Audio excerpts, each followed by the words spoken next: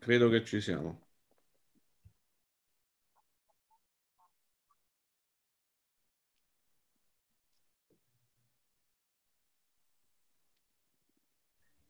Ditemi quando devo partire. Se Filippo ci dà un ok. Ok.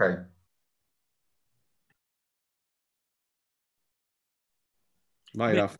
Bene, signore e signori, buongiorno e benvenuti a questo importante appuntamento in cui parleremo di privacy e di protezione dei dati. L'occasione è data dalla presentazione della seconda edizione del volume di eh, eh, Nicola Fabiano, eh, GDPR e Privacy, consapevolezza e opportunità, l'approccio con il data protection e eh, Privacy Relation Model, ovvero da premo. Quindi parleremo di privacy, di protezione dei dati, ma la vera novità è che il libro di Nicola Fabiano eh, ci indica per la prima volta una strada nuova, un modo per quantificare, anche se l'espressione forse non è propriamente corretta, eh, il nostro percorso di compliance per verificare quanto la privacy pesi effettivamente. Questo evento avrebbe dovuto tenersi eh, oggi pomeriggio presso il Consiglio nazionale forense che molto cortesemente con grande attenzione e sensibilità aveva eh, dato l'ospitalità all'evento proprio nella propria eh, sala. Eh, purtroppo le ragioni di emergenza che tutti noi conosciamo e che hanno sconvolto eh, le nostre vite, il nostro vivere quotidiano addirittura, eh, ci impediscono di essere presenti in quella magnifica sede e quindi facciamo tutto online eh, ma eh, vorrei presentarvi subito i nostri, i nostri illustri ospiti. Eh, io vorrei eh, iniziare innanzitutto con Nicola Fabiano che vedete in video eh, e di cui vorrei sottolineare la particolare foggia della barba per la quale ho grandissima invidia. Eh, Nicola Fabiano è un grande esperto di privacy, ma eh, lo dico con tutta la solennità del caso, è eh, il garante della privacy della Repubblica di San Marino. Quindi, eh, come, anche se Repubblica di San Marino è un piccolo Stato, eh, beh, noi siamo onorati di avere oggi qui Nicola Fabiano, che rappresenta un'istituzione importante in ogni paese e il suo libro ci dà l'opportunità di eh, discutere e approfondire questi temi con degli ospiti di particolare eh, rilievo che, sono, eh, che, vi, che, vi, presento velocemente. Sono ehm, eh, l'avvocato Vincenzo Colarocco, ehm, l'avvocato Rocco Panetta eh, e ehm, abbiamo poi due presenze importanti alle quali adesso darò immediatamente la parola, eh, che sono l'avvocato Carla Secchieri, consigliere nazionale del Consiglio nazionale forense, eh, ma anche coordinatore della commissione privacy proprio del CSN, e l'avvocato Carolina Scarano, anch'ella consigliere nazionale del Consiglio nazionale forense e anch'ella membro della Fondazione Italiana per l'Innovazione Forense. Quindi abbiamo un tavolo veramente ricco di competenze e eh, con una equa rappresentazione di genere, così non siamo sicuramente estranei a qualunque attacco anche formale, ma a parte gli scherzi, sono veramente lieto e onorato di dare intanto la parola all'avvocato Carla Secchieri, e che assieme all'avvocato Scarano faranno un po' gli onori di casa, come se oggi fossimo effettivamente presso eh, la magnifica sede del Consiglio Nazionale Forense e quindi avvocato Carla Secchieri le do con molto piacere eh, la parola e a lei il compito di dare il primo benvenuto a questo evento. Grazie. E, Porgo prima di tutto uh, a tutti i relatori e anche ai partecipanti il saluto della Presidente del Consiglio nazionale forense, l'Avvocato Maria Masi, che oggi è impedita a partecipare per motivi istituzionali. E porgo anche eh, i miei saluti personali come, pre, come eh, coordinatore della Commissione Privacy agli, i, a tutti i relatori e i soprattutto eh, vorrei esprimere il mio ringraziamento a Nicola Fabiano per aver scelto il Consiglio nazionale forense per presentare il suo libro e credo che questo sia il risultato di un percorso che noi abbiamo fatto insieme. Ma eh, i ringraziamenti eh, e anche per aver radunato una platea di relatori così illustri, così importanti. Nicola Fabiano non è solo uno dei maggiori esperti di privacy o di protezione dei dati personali, secondo la distinzione che lui ha sempre amato fare e che trovate anche nel suo libro, ma è per me soprattutto un grande amico, un amico che mi ha avvicinata al mondo della protezione dei dati personali che io prima consideravo con un po' di distacco. Mi ha avvicinato e me l'ha fatto amare moltissimo.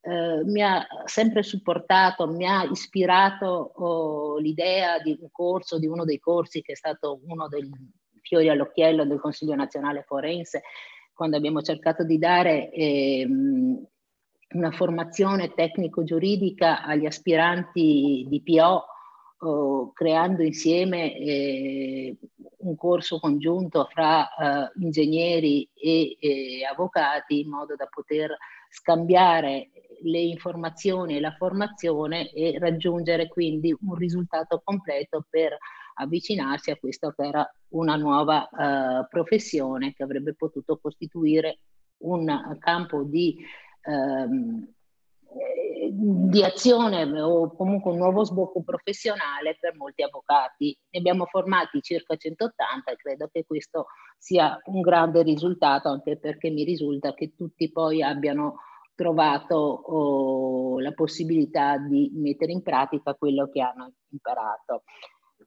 Eh, Nicola poi è sempre prodigo, io mi rivolgo a lui perché so che in tempo reale mi risponde ogni volta che ho bisogno di suggerimenti, di consigli e quindi eh, devo dire che per me è un onore presentarlo eh, proprio per quello che ha rappresentato per me e credo per tutti noi, ma anche per quello che ha dato al Consiglio nazionale forense proprio in termini di saggezza di, e di opportunità. Mi fermo qui perché poi magari mi commuovo anche, quindi Nicola, grazie, grazie a tutti voi di, ave- di essere presenti e vi auguro buon lavoro. Grazie a tutti. Grazie Avvocato Secchieri anche per, eh, dire, per eh, lo stato d'animo eh, di amicizia, di grande stima che ha voluto esprimere e questo indica come in effetti eh, tutti noi facciamo parte di una community che non è solo una community professionale, è una community, io poi sono un impostore perché non sono neanche un avvocato, ne sia chiaro, ma è una community che è unita da un filo rosso importante che pone al centro la persona. Quindi è, eh, io naturalmente, ecco, nel tempo reale della rete accade anche questo, che qualcuno ti suggerisca o ti dica dove hai sbagliato. Io ho già commesso il primo errore presentando lei, Avvocato Secchieri, e eh, ponendola come membro del Consiglio Superiore della Magistratura, cose che le augurerei con tutto il cuore, spero che sia un magnifico presagio. Ma, ehm, Mi piace dove sono però, sa? non è che ho aspirazioni diverse. E la ringrazio molto per le parole anche di, eh, di, attenzione verso il settore, oltre che di stima per il nostro illustre ospite. Vorrei dare subito la parola all'avvocato Carolina Scarano, anch'ella consigliere nazionale del Consiglio nazionale forense e membro della Fondazione Italiana per l'innovazione eh, forense, che è appunto una costola importante del Consiglio nazionale forense. Grazie. Sì, grazie. La Fondazione è presieduta dall'avvocato Secchieri, anch'essa qui presente. Io non voglio fare che più amica di Nicola Fabiano con Carla Secchieri, però lo siamo entrambe ed entrambe lo stimiamo. Io lo conosco purtroppo per entrambi da molti anni e ho sempre apprezzato l'altissima valenza scientifica del lavoro di Nicola. Mi ha onorato in un'altra occasione di essere presente alla presentazione di un suo libro e eh, con molto piacere sono qui oggi a farvi compagnia perché visto il parterre e l'alto livello dei relatori non posso certo spingermi a parlare tecnicamente dell'argomento, ma mi fa piacere stare con voi in questa occasione e soprattutto mi rammarico che non lo abbiamo potuto fare in presenza, ma stante il periodo è una delle tante cose a cui dobbiamo rinunciare. Sono convinta che comunque sarà un evento di grandissimo interesse e di grandissimo livello. L'unica cosa che voglio dire sul tema della privacy è che è un tema che coinvolge tutti noi, ma tutti i cittadini, quotidianamente ed ogni minuto della giornata. Ed è un tema i, di, che ha risvolti eh, pesanti, ma risvolti anche molto interessanti. E da qui proprio il titolo di questo evento, Opportunità. Eh, dobbiamo partire appunto dalle opportunità che possiamo avere con l'evoluzione legislativa in materia. ringrazio, non sottraggo tempo agli illustri relatori, poi semmai eh, c'è da intervenire dopo, se resta qualche minuto lo faremo volentieri. Grazie mille e grazie a Nicola. Bene, grazie Avvocato Carolina Scarano e io a questo punto entrerei direttamente nel merito e tirerei subito in ballo eh, l'autore del, del volume, eh, il garante eh, Nicola Fabiano, eh, con, spendendo due parole eh, nel presentare il suo intervento eh, eh, e facendo esplicito riferimento ad alcuni aspetti, se Nicola Fabiano mi permette, che eh, hanno a che fare con alcuni cambiamenti a cui stiamo assistendo e di cui siamo in un certo senso anche parte.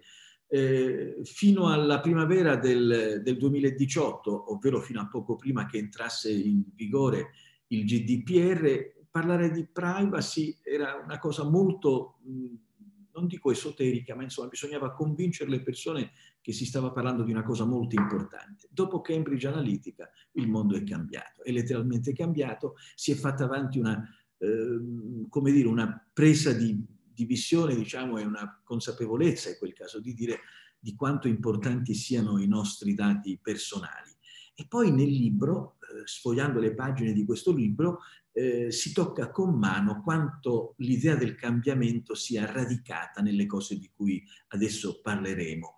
E quindi da una parte abbiamo la tecnologia che eh, ogni giorno ci impone di correre e di apprendere modi nuovi con cui fare le cose e questa tecnologia però può essere anche a volte insidiosa nella modalità a volte sofisticata con cui eh, aggredisce il settore dei nostri dati personali e eh, dall'altra c'è il diritto, eh, che è un po' la, lo strumento di difesa e, e la regolazione serve proprio per tutelare tutte le parti, innanzitutto quelle più deboli, e di fronte a cotanta tecnologia eh, il cittadino o il consumatore spesso è di una debolezza disarmante se non fosse protetto appunto dalle norme. E quindi il libro spazia in effetti, Nicola Fabiano, su tutto lo scibile del settore, perché guarda la tecnologia e a tutti i cambiamenti che riguardano il nostro vivere quotidiano. La blockchain, i big data, l'internet delle cose, i droni, tutta roba che è ormai pervasiva in ogni aspetto della vita quotidiana. E ecco, io vorrei eh, proprio partire da questa prima considerazione, perché il libro fa riferimento alla consapevolezza e alle opportunità vorrei proprio che l'autore eh, ci conducesse un po' per mano in questo processo di crescita della consapevolezza e in questa anche considerazione delle opportunità che abbiamo proprio per dare maggior qualità al nostro vivere quotidiano e per assicurare, diciamo, una godibilità della tecnologia che non sia insidiosa della persona, ma che invece sia rispettosa. Ecco, vorrei che lei Nicola Fabiano ci prendesse un po' per mano e ci portasse tra le pagine di questo libro eh, proprio per definire questo primo perimetro di gioco sul quale faremo poi intervenire sia Vincenzo Colarocco eh, che Rocco Panetta. A lei la parola.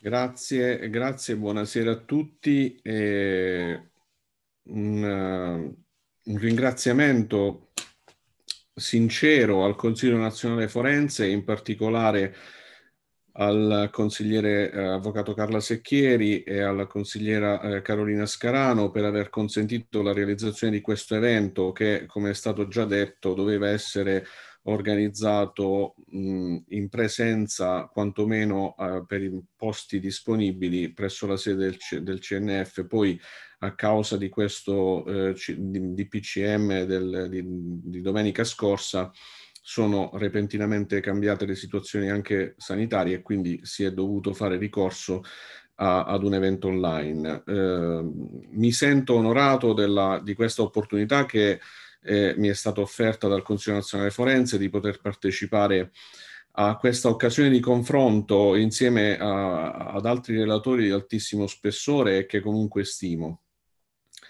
Eh, devo però precisare che in, questo prestigioso contesto intervengo eh, nella qualità di Presidente dell'Autorità per la protezione dei dati personali della Repubblica di San Marino e quindi a questo titolo porgo i, salu- i saluti istituzionali da parte dell'autorità.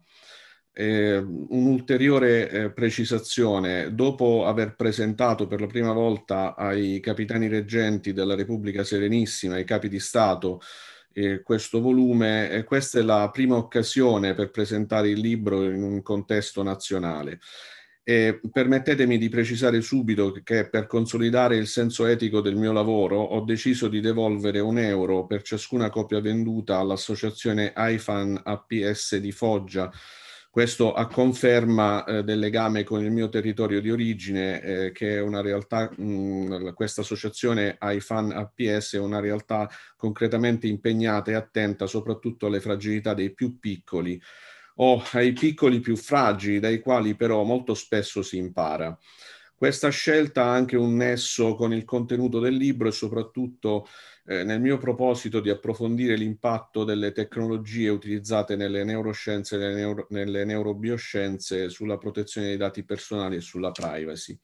Premesso questo, è eh, precisato pure che eh, ovviamente siamo in attesa eh, dell'intervento autorevole del garante europeo che si collegherà eh, a breve, più tardi, eh, vorrei pre- spendere qualche parola sul, sul titolo di questo, di questo, evento. Poi, eh, per precisare dopo eh, il, il, il, senso di questo volume. Eh, io faccio delle considerazioni che sono queste. Gli avvocati, ma eh, anche gli operatori giuridici, eh, in generale sono soliti avere un approccio molto tecnico, individuando la norma o le leggi per definire un caso specifico. L'approccio eh, si basa in primo luogo sulla focalizzazione sul caso che va valutato e, e poi deve essere individuata la legge o le norme eh, applicabili. Basti pensare eh, però all'insegnamento dei padri del diritto, eh, che eh, celeberrimi civilisti, tra i quali Irti, Falzea, Pugliatti, che hanno descritto il principio di sussunzione, secondo il quale il fatto va sussunto nella norma, quindi diciamo che rientriamo, anche se poi su questo eh, c'è, un, uh, c'è, stato un, uh, un, ampio dibattito dottrinario che non voglio qui uh, replicare. Per cui eh, anche riguardo alla protezione dei dati personali e alla privacy, di solito ci, ci, comportiamo nello stesso modo, analizziamo il caso e troviamo la norma applicabile. Questo approccio sembra corretto, come effettivamente eh, è, non è sbagliato. Tuttavia eh, potrebbe sfuggirci qualcosa mh, mm, che è nel nostro, che ci, qualcosa de, qualche aspetto che ci circonda, ma probabilmente non ci facciamo caso. Quindi se analizziamo la realtà proprio come quando usiamo degli occhiali per la realtà virtuale, i cosiddetti occhiali 3D per vedere alcuni film, capiamo che ci sono diverse entità intorno a noi, ma spesso non le vediamo, o meglio non ci facciamo caso. Questo accade probabilmente perché nella nostra mente, nella nostra convinzione, nella nostra cultura consideriamo queste entità irrilevanti, in questo modo però ci comportiamo come ciechi, ma dobbiamo imparare dalle persone non vedenti che percepiscono invece in modo globale. Molto spesso accade nella realtà in cui viviamo che vediamo solo gli oggetti che sono davanti a noi, quasi come se avessimo i paraocchi, proprio come i cavalli. In breve, a mio avviso, ci sono molte entità che di solito non vediamo, ma che sono incredibilmente rilevanti per raggiungere un obiettivo. E questa è, quindi una questione di approccio e dovremmo cercare di cambiare la nostra mentalità. Dovremmo essere di mentalità aperta, si dice open-minded, e cambiare le nostre abitudini, o meglio il nostro approccio riguardo a questo eh, contesto, questo dominio, protezione dei dati personali e privacy. Quindi c'è la necessità di un serio e radicale cambiamento di mentalità che però non significa non considerare e trascurare le leggi sulla privacy come eh, sappiamo tutti eh, in ambito europeo il GDPR, ma eh, semplicemente essere consapevoli che eh, ci troviamo di fronte ad una nuova era della privacy. Il GDPR è una rivoluzione e molti fanno ancora fatica ad entrare nella nuova dimensione concettuale della protezione dei dati. Se non facessimo così, continueremo a lavorare sulla protezione dei dati e sulla privacy con un approccio obsoleto e meno proficuo, basato e focalizzato solo sulle norme, trascurando alcuni altri aspetti rilevanti e pertinenti. In questo modo finiremo per capire solo una parte, secondo me, ma non l'insieme. Eh, so che è difficile cambiare approccio quando si imparano i principi e di conseguenza si utilizza lo stesso metodo per anni, eh, però ritengo che questa sia la strada per un approccio corretto.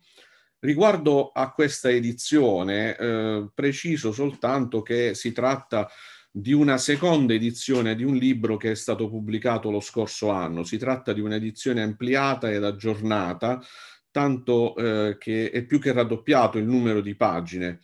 Eh, ho lasciato comunque la stessa impostazione per rendere più il più accessibile possibile il tema della protezione dei dati personali e della privacy anche ai non addetti ai lavori, pur mantenendo eh, il rigore scientifico nell'esposizione. Quale seconda edizione è rimasto identico il titolo, ma è cambiato il sottotitolo che fa riferimento al modello da Premo che poi illustrerò eh, più avanti.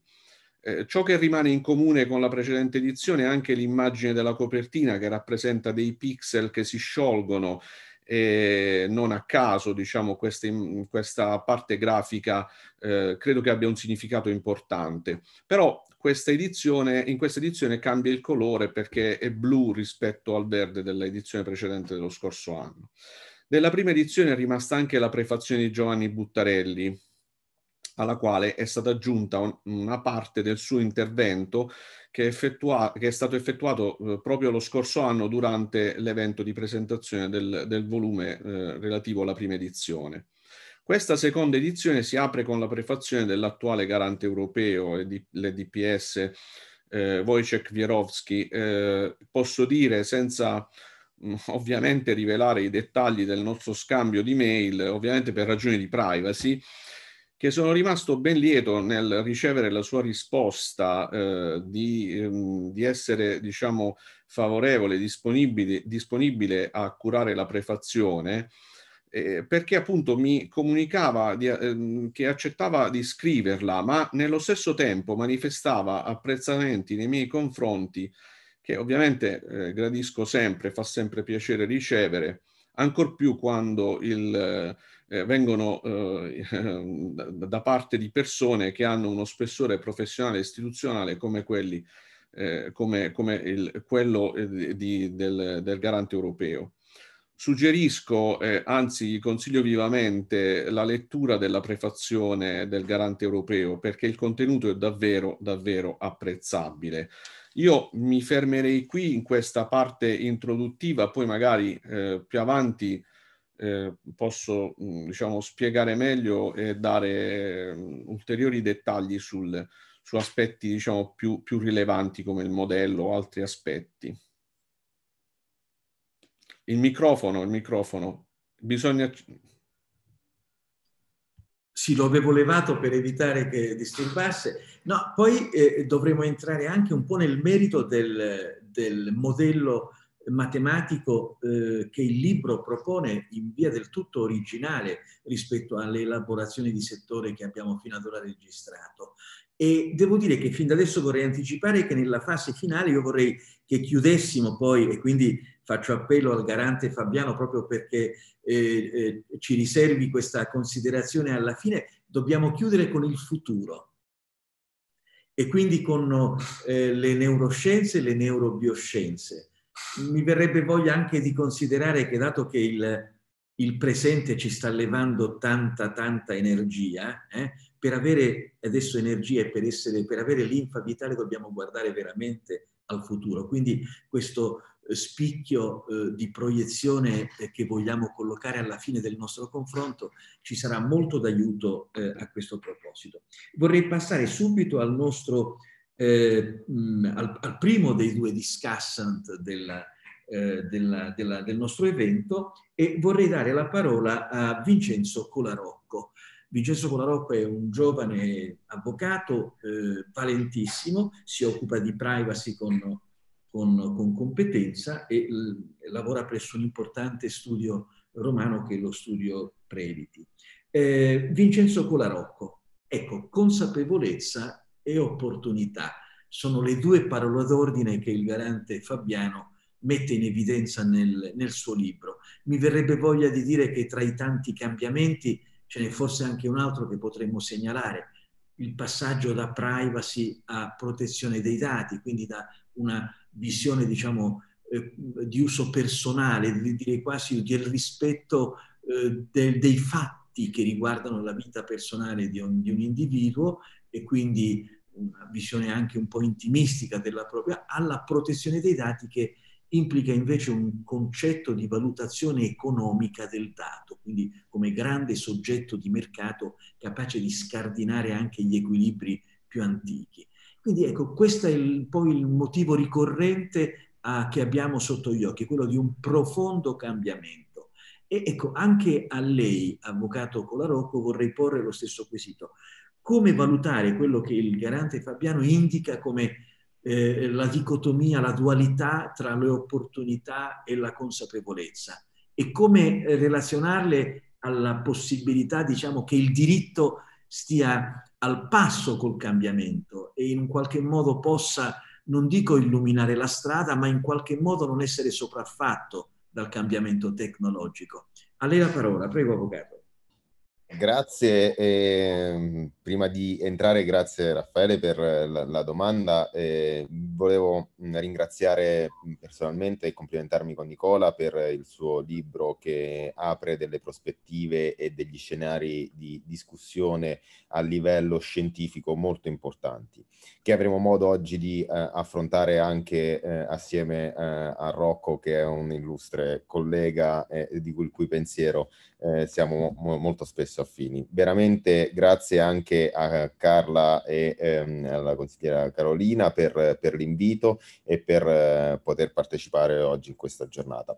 Caro Raffaele, la domanda che eh, mi hai posto è una bellissima domanda ed è un tema eh, rivoluzionario che per chi mh, il GDPR, per chi di eh, data protection si occupa da tempo.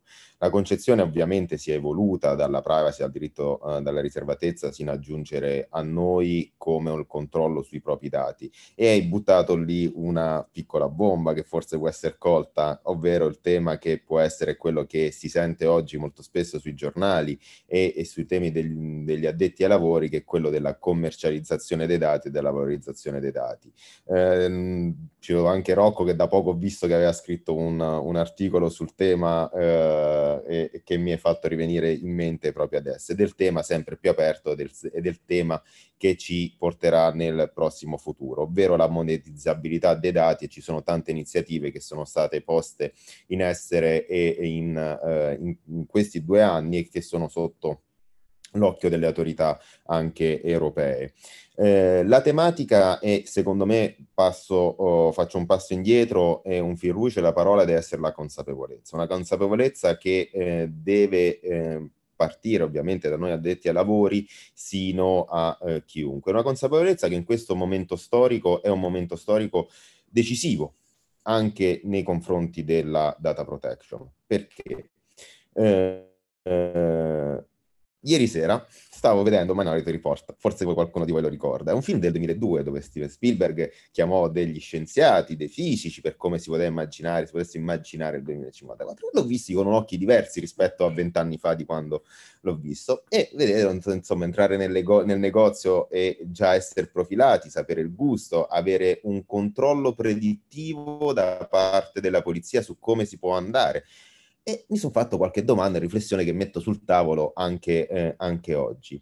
Perché di fatto nella nostra società mondiale, perché parliamo di esperienze mondiali, alcuni esperimenti già sono stati fatti e posti in essere, anche quella della possibilità di prevenire il crimine, il crimine a seconda un'analisi del dato e sull'utilizzo fondamentalmente dell'algoritmo, eh, questa parola magica che tutto eh, racchiude in sé, ma che eh, ha uh, il fulcro del, dello sviluppo della nuova società e della società che stiamo vivendo, ma ha in sé uh, dei lati oscuri che possono portare dei pregiudizi molto, molto importanti alle nostre libertà, alle nostre decisioni.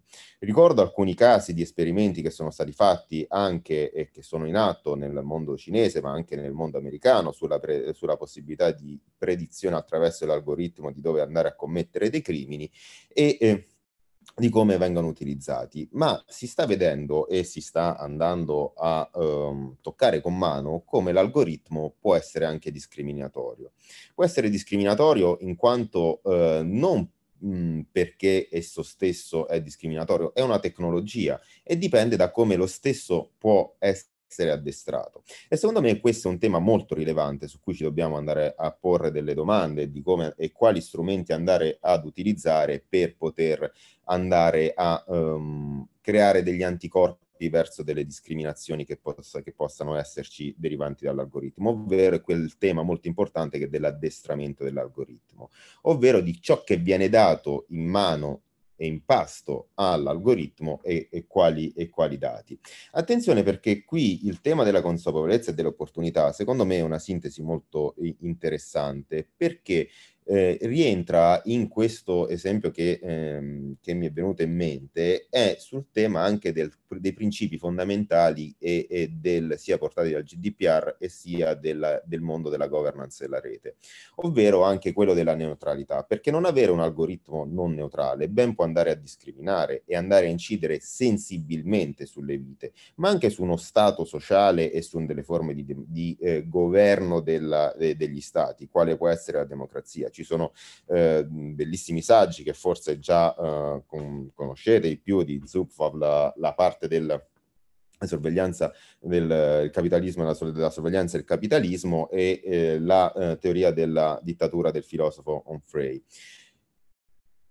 che es- esprimono molto lucidamente dei rischi che vi possono essere di deriva de, dal, um, del, della forma di governo che vi è a seconda dell'utilizzo dei dati nelle decisioni. E quali possono essere, in una riflessione molto alta e, e da mettere in, su cui vorrei eh, anche un confronto di, e il pensiero di Nicola e di Rocco eh, su questa possibilità di andare di attivarsi per creare degli anticorpi a quello che si, eh, per come si sta evolvendo l'algoritmo e, e, la, la demo, e, e, la nostra società. Io ne ho fatti alcuni di riflessione e, e un mio piccolo pensiero che metto sul tavolo. Il primo è sfruttare un po' quel, eh, il, il, eh, principio di, eh, elaborato anche da Floridi e ripreso dal, eh, da Soro nel, del group privacy, cioè dell'autodeterminazione dell'individuo non più come singolo, ma singolo nel gruppo e che rappresenta gli individui e che ben possa essere tutelato a seconda del gruppo di appartenenza, quindi una tutela differente. Un'altra un altro punto che eh, mi sembra una filosofia, mi sembra molto importante da applicare è quella dell'umanesimo digitale, ovvero di andare a trovare quello che è l'equilibrio sempre più difficile tra tecnologia e diritti e libertà, dove la tecnologia non deve essere inseguita dai diritti e dalle libertà, ma la tecnologia dovrebbe seguire i diritti e le libertà che sposta di, di, in maniera importante l'equilibrio fra questi eh, due diritti. E quale potrebbe essere una strada per fare questi anticorpi? Potrebbe essere proprio quella la regolamentazione anche dell'intelligenza artificiale.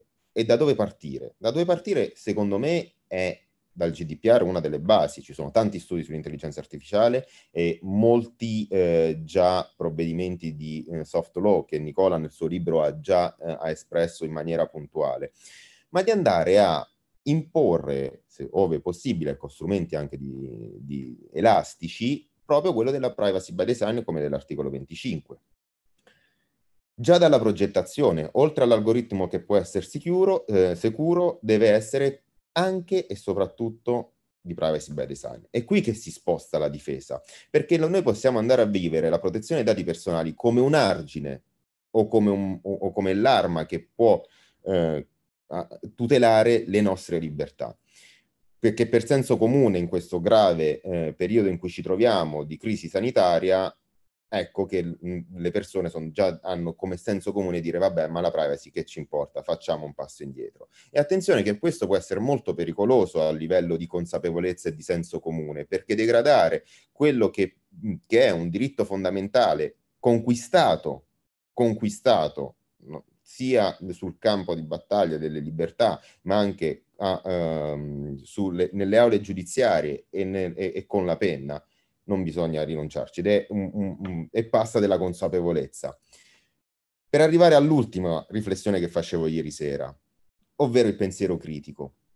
Il pensiero critico è che secondo me deve essere eh, fomentato, uso questa parola non casualmente, bisogna partire dalla scuola e dall'educazione digitale, ma da sin dalle eh, aule più piccole, dalle, dalle scuole primarie, per dare i mezzi poter, nel, per poter vivere all'interno della nuova società e capire e percepire quello che il mondo che viene governato dall'algoritmo ed avere gli strumenti critici per poter analizzare e sopravvivere. Quindi già un, un, una sintesi che può essere tra consapevolezza e opportunità e andare a creare la consapevolezza della data protection e della privacy e della propria riservatezza sin dalle aule delle classi dei bambini più piccoli.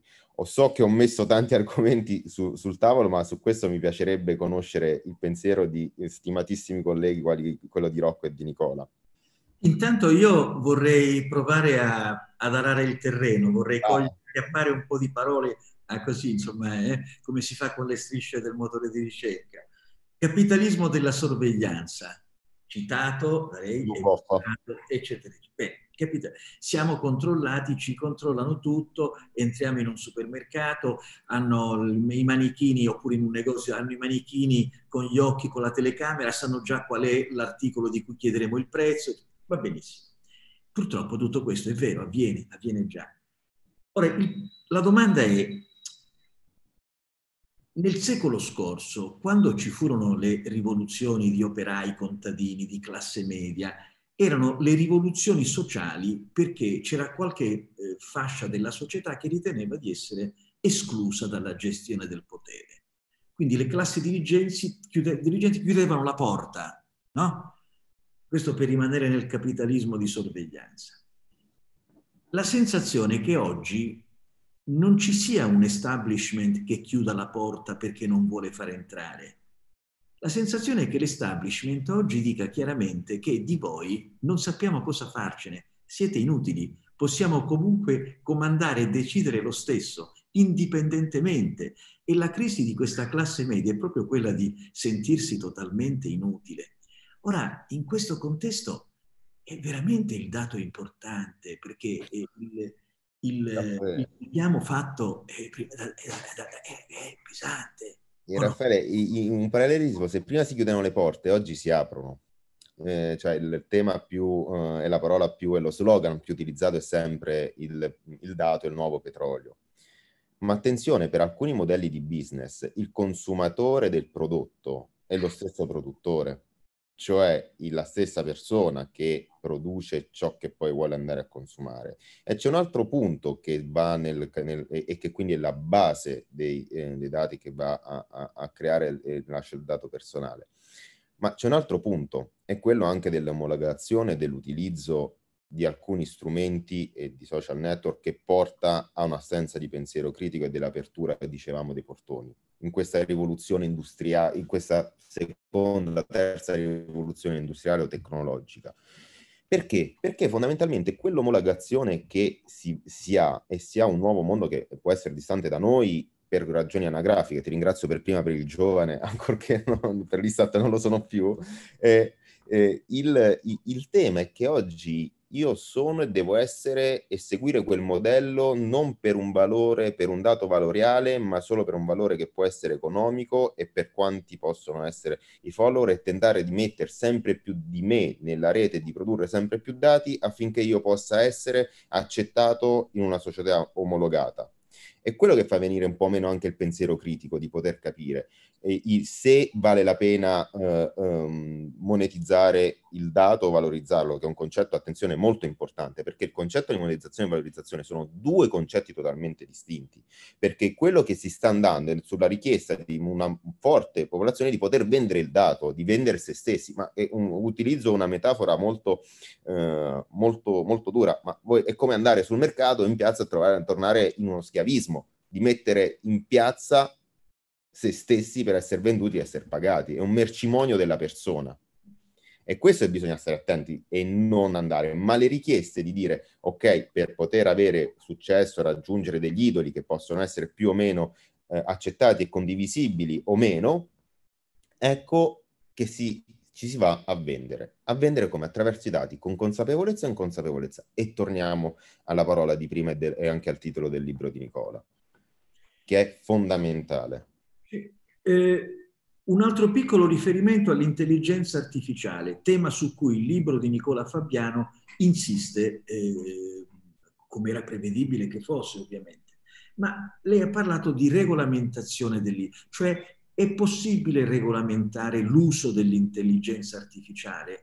Ecco, ripeto, come dire, faccio eco alla considerazione per ribaltare la domanda, ma è veramente possibile regolamentare l'intelligenza artificiale ponendo dei limiti all'uso di soluzioni tecnologiche del genere? Non parlerei di porre dei limiti, parlerei di utilizzo etico, cioè la regolamentazione dell'intelligenza artificiale per applicare l'etica nell'ambito tecnologico affinché non vengano lesi diritti e libertà e non casualmente citavo la privacy by design, perché nel momento del, della costruzione dell'algoritmo io devo tener conto e verificare con, concretamente se quell'algoritmo può essere discriminatorio o meno. Pensiamo alle telecamere sul eh, riconoscimento facciale, la facial recognition, o di come si sta andando a sviluppare e di come vengono addestrate. Basta se in una fotografia c'è una persona bianca, una, eh, un bambino bianco, un bambino nero, basta assegnare un tag bambino e bambino nero ed ecco che mi si crea, la macchina impara a discriminare. Quindi lo strumento che oggi abbiamo in mano e su cui già si può andare a regolamentare l'ambito per, per la tutela è quello proprio della privacy by design, ma ci vuole un, appo- un, un approccio rigoroso, scientifico, e, eh, e, e, di applicazione normativistica molto molto attento, cosa che per quello che è la mia esperienza eh, è, è, un po' mh, mm, mi è capitato di vedere molto spesso non v'è. Vengono utilizzate tecnologie mh, mm, che possono essere molto invasive, avere degli impatti molto uh, limitanti alle nostre libertà senza che vi sia una scientificità. Ed è corretto, ehm, sposo il pensiero di Nicola quando dice attenzione, qui non stiamo parlando solo di applicazione di norme, ma c'è un ecosistema, c'è un, c'è, e siamo a 360 gradi, non abbiamo un livello bidimensionale, ma un livello multidimensionale in cui bisogna tener conto di più fattori. E l'etica non è una parola che deve restare morta, ma deve essere applicata, perché quello che poi ci può guidare nell'applicazione della tecnocrazia e dell'algoritmo a contemperare tutti gli interessi in gioco. E lo sforzo del legislatore deve essere quello di, nell'emanazione della norma, che deve essere il più elastica possibile, stante l'evoluzione tecnologica, di, per, di far applicare con rigore e con sagacia quelle che sono i principi fondamentali per la tutela della persona, da cui uno che si è visto già il GDPR già all'inizio ed ha una forza propulsiva ed è stato pionieristico. Vediamo da, da, da ultima la legislazione brasiliana che già segue l'impostazione eh, de, de, del GDPR, ha fatto scuola, lo sta facendo, ma deve eh, esserci ancora di più un'attenzione sin dalla nascita della nuova tecnologia, sin dal momento dell'ideazione, a mio avviso. Bene, grazie Vincenzo Colarocco. Passerei al nostro eh, ospite eh, che fino ad ora ci ha ascoltato, presumo, con grande attenzione e a cui io vorrei eh, chiedere delle cose, eh, come dire, che seguono un po' il filo del nostro ragionamento, ma vorrei chiedergli forse anche qualcosa di più. Intanto eh, ve lo presento nuovamente, Rocco Panetta. Eh, Rocco Panetta è un avvocato ben noto, è un, fondatore dello studio omonimo, ma eh, Rocco Panetti è un avvocato che è stato anche dall'altra parte, è stato dirigente in passato del, del garante della privacy e, eh, e poi eh, è entrato, eh, come dire, sul campo, come si suol dire. E, beh, ehm, a Rocco Panetta che eh, ha una, come dire, ha, una, ha la fortuna di avere anche una visione paneuropea. Eh, Panetta è, è country leader e membro del consiglio di amministrazione dello IAP, che è l'International Association for Privacy Professionals. Quindi, diciamo, ha l'opportunità di operare sul campo in Italia e in altre sedi mondiali attraverso il suo studio, ma di far riferimento anche a quel framework di norme europee e di attenzione paneuropea di cui abbiamo bisogno come il pane per evitare che ciascun paese pensi di fare la battaglia da solo, battaglia nella quale sarebbe destinato ovviamente alla sconfitta. Rocco Panetta, tanti temi che sono emersi nel considerare il lavoro eh, di Nicola Fabiano, eh, però eh, io vorrei diciamo, tirare in ballo altre parole chiave su cui eh, sollecitare la, la, la sua attenzione. Sovranità digitale è stata una delle prime preoccupazioni della Presidente della Commissione europea eh, van der Leyen. E, e, e, a luglio, quando fece il primo discorso di insediamento, parlò esplicitamente di sovranità digitale, cioè non vi è autonomia di un paese o di una Unione Europea come quella della quale facciamo parte se non siamo certi di essere sovrani dei, non solo dei nostri territori ma dei nostri dati. E oggi la sovranità può essere spezzata non facendo entrare i carri armati in un'altra nazione, ma rubando sotto il tavolo tutti i dati dei suoi cittadini. Quindi sovranità digitale e quindi anche ambiti di giurisdizione, cioè quali sono le modalità attraverso cui assicurare questo. Poi Vincenzo Colarocco ha immesso anche un ulteriore elemento, quello della monetizzazione. Noi tutti sappiamo che quello della monetizzazione sarà uno dei campi di battaglia, direi, perché bisognerà fare salire sulle barricate per evitare che questo avvenga.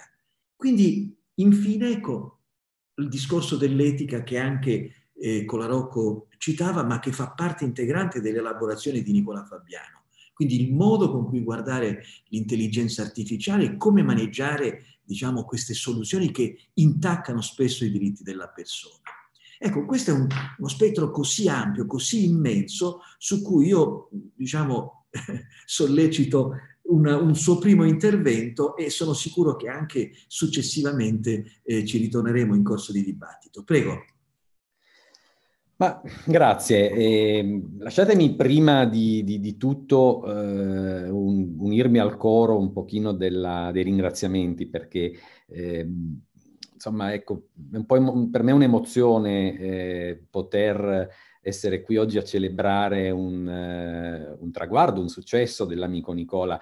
Eh, Nicola eh, mia, eh, così, nel mio immaginario e ehm, nella mia storia professionale è stato uno dei primi eh, amici e una delle persone con cui abbiamo anche fatto un pezzo di strada insieme. Io lo ricordo sempre con, con affetto perché eh, gli anni in cui subito dopo aver lasciato eh, io l'autorità, eh, Nicola ci siamo trovati, ci siamo incontrati a Bruxelles, ci siamo incontrati in giro e eh, lui per un, per un, periodo è stato anche nella mia, nella mia famiglia professionale con me. E, e, questo lo ricordo sempre con affetto. Allora, eh, insomma, considerare eh, poter leggere oggi, poter contribuire alla riflessione e poter, eh, potergli far festa, ecco, insieme ad altri amici che, che hanno speso eh, delle belle parole, è qualcosa che mi dà particolare soddisfazione.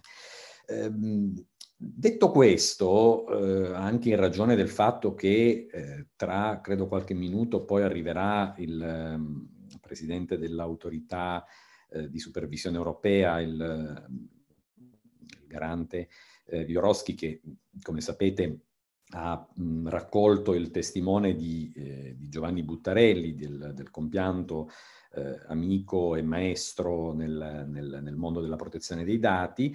Eh, inizio proprio per, per poi eh, non, non, lasciare eh, come dire, troppi discorsi appesi che verranno inevitabilmente così interrotti dalla, dal, dal, dal suo intervento, inizio a, a raccogliere due o tre idee su quelle che sono le suggestioni che il, il direttore Barberio ha, ha appena fatto.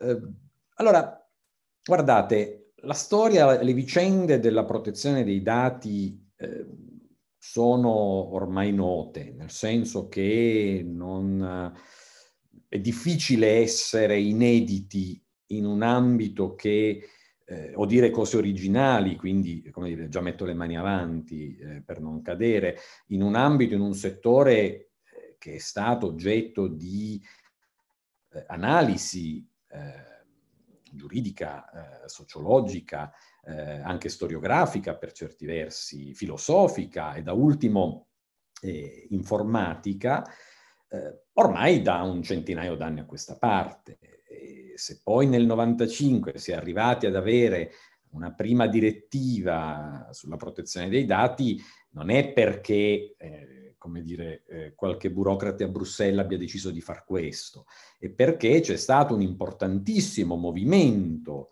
di presa di consapevolezza capeggiato da uomini eh, come Spiros Simitis, come Stefano Rodotà, ehm, insomma, ecco, potrei citare eh, altre, altre, persone. Mm, all'estero abbiamo avuto importanti, l'importante azione eh, della, di Anka Vukian, che so essere un'amica anche di eh, Nicola Fabiano.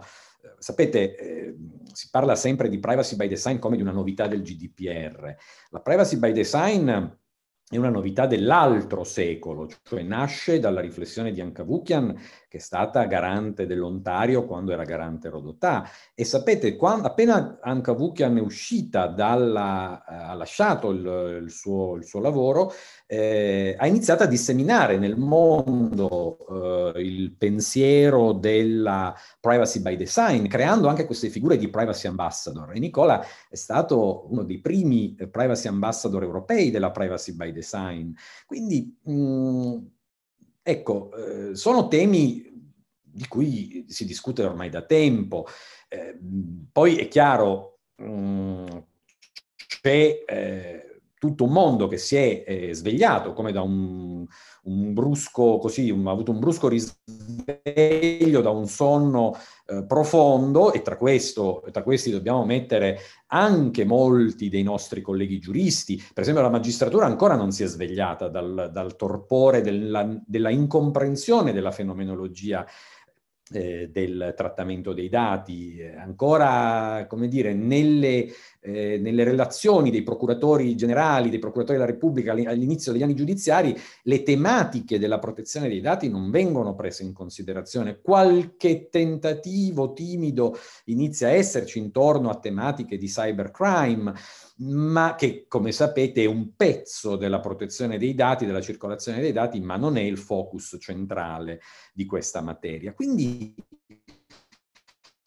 ehm, bene è che eh, oggi, come in altre occasioni, ma soprattutto oggi, siamo qui a parlare di queste tematiche anche alla luce di un testo, il libro eh, a firma di Nicola Fabiano, che fa un esperimento, se vogliamo, prende, tocca, eh, accarezza, delinea, tratteggia, ehm, mette a fuoco tutti i principali temi, tutte le principali sfide che eh, la uh, protezione dei dati eh, pone all'uomo contemporaneo, però non resta, eh, non lascia appeso il, il um, come dire, eh, non, non, non, getta soltanto delle provocazioni, non lascia il filo così eh, non tessuto, ma nella parte eh, poi eh, metodologica ci offre eh, alcuni spunti per delle soluzioni pratiche. Vedete, eh, la normativa sulla protezione dei dati ha tanta teoria, ha tanta, affonda le radici in tantissimi principi della ehm, del diritto e, e, e anche, eh, poi se volete, della, della, gestione dei processi. Però poi la, la, il tema della circolazione dei dati è un processo ehm, in sé, cioè è un tema che si deve confrontare, deve essere declinato quotidianamente nelle dinamiche del tema della circolazione del dato.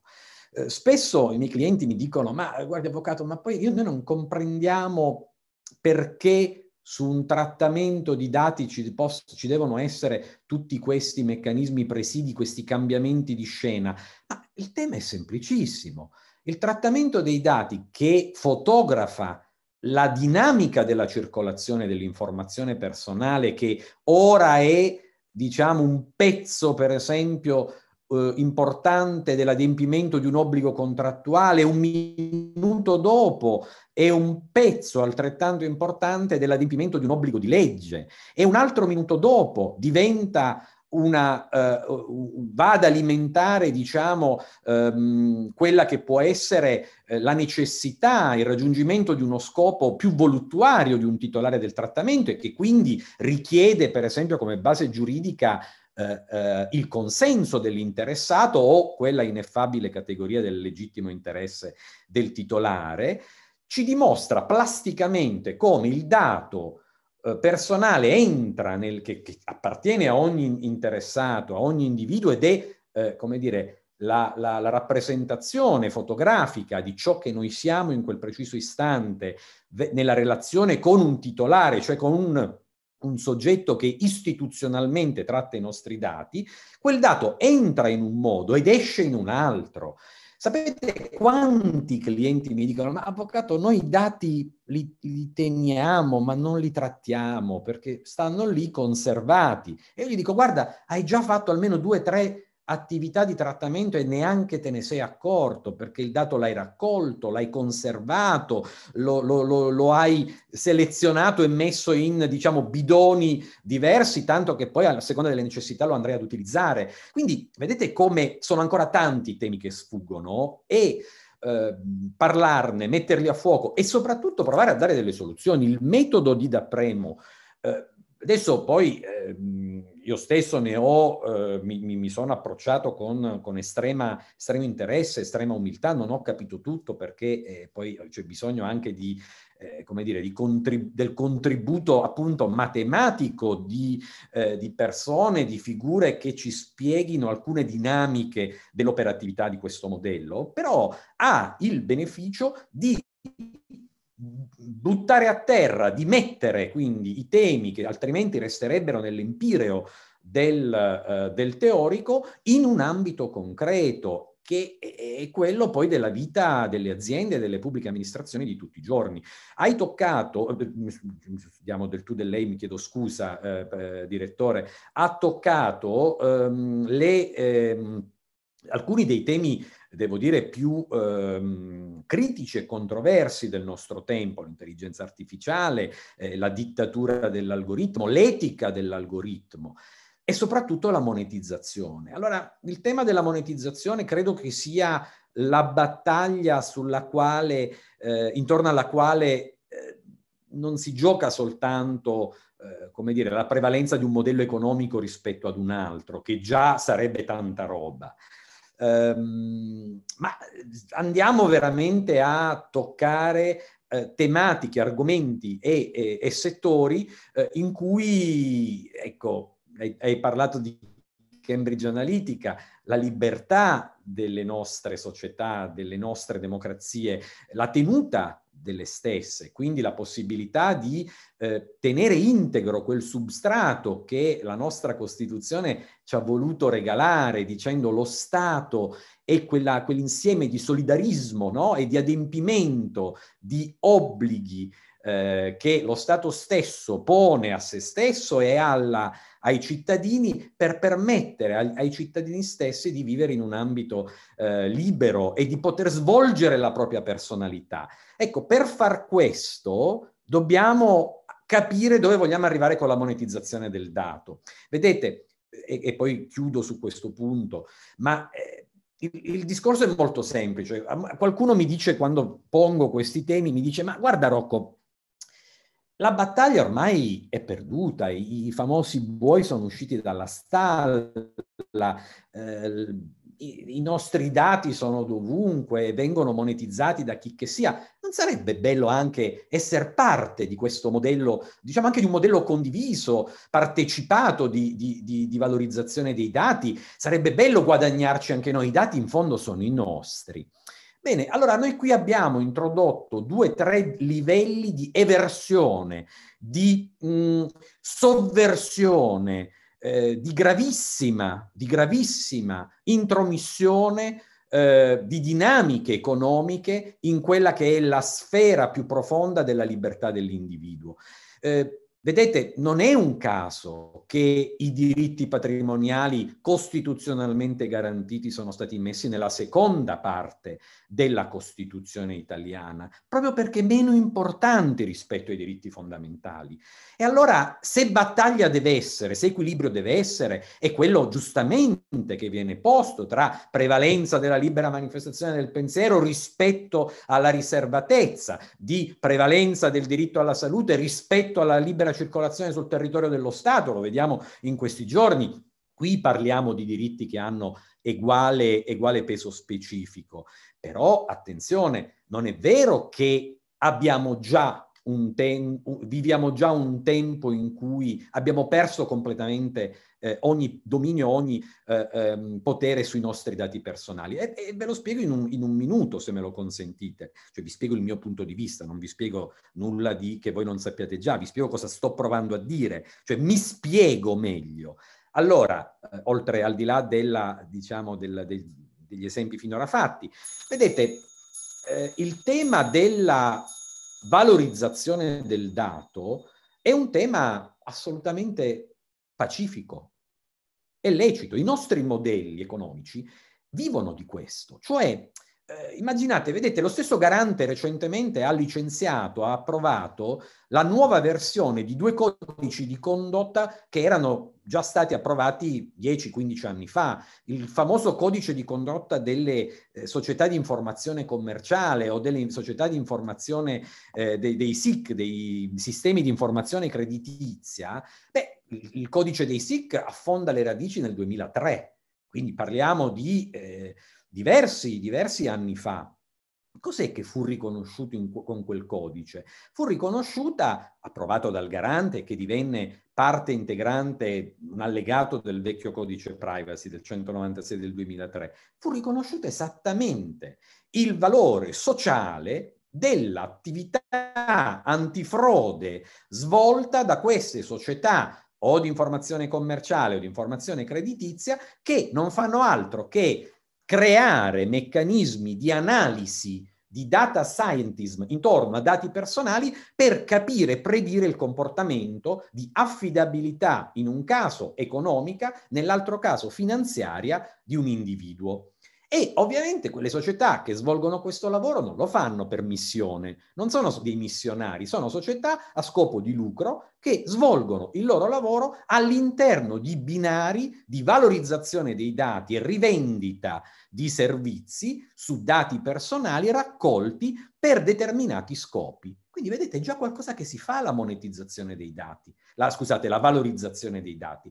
Ma nessuno finora si è mai sognato di andare a dire allora, tu che sei un cattivo pagatore o un buon pagatore e sei in un sistema di informazione creditizia con, un, con uno scoring piuttosto che un altro, ecco, se ci dai quell'informazione in più, ti diamo in cambio dei soldi. Questo è l'elemento eversivo. Questo, è questo significa prezzolare, dare un prezzo al dato personale, che è qualcosa che nell'attuale sistema giuridico europeo basato su eh, il diritto fondamentale al trattamento dei dati e alla sua protezione ai sensi della Carta di Nizza del 2000, quindi un diritto alla protezione dei dati che non è stato introdotto dal GDPR, è stato introdotto dalla Carta dei diritti di Nizza ed è nei trattati, è nel Trattato di Lisbona, quindi è roba vecchia ormai possiamo dire. Bene, ai sensi di questa normativa non può essere eh, degradato in senso chiaramente non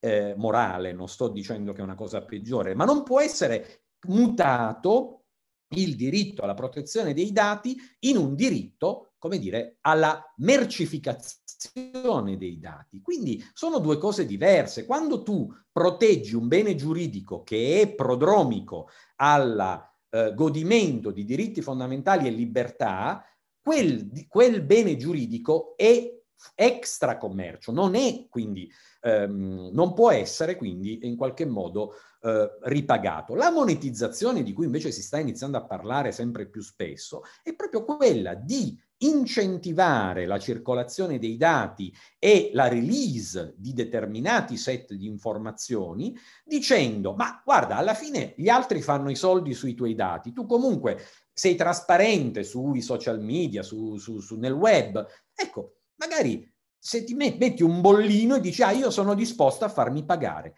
A quel punto saresti disposto a farti pagare per votare in un certo modo, saresti disposto a farti pagare per comprare determinate cose, saresti disposto a farti pagare per esercitare diritti e libertà in un modo deciso da altri. Ecco, è la fine della libertà, non è l'esaltazione e riportare l'uomo al centro. Portare, riportare l'uomo al centro è ridare il controllo sui propri dati personali, che è ciò che nella linea di crescita che va dalla Carta di Nizza, e ho finito, al Trattato di Lisbona, fino al GDPR, a tutte le norme collegate, in maniera coerente dalla lezione di Rodotà alla oggi eh, lettura del libro di Nicola Fabiano, vi è una perfetta armonia.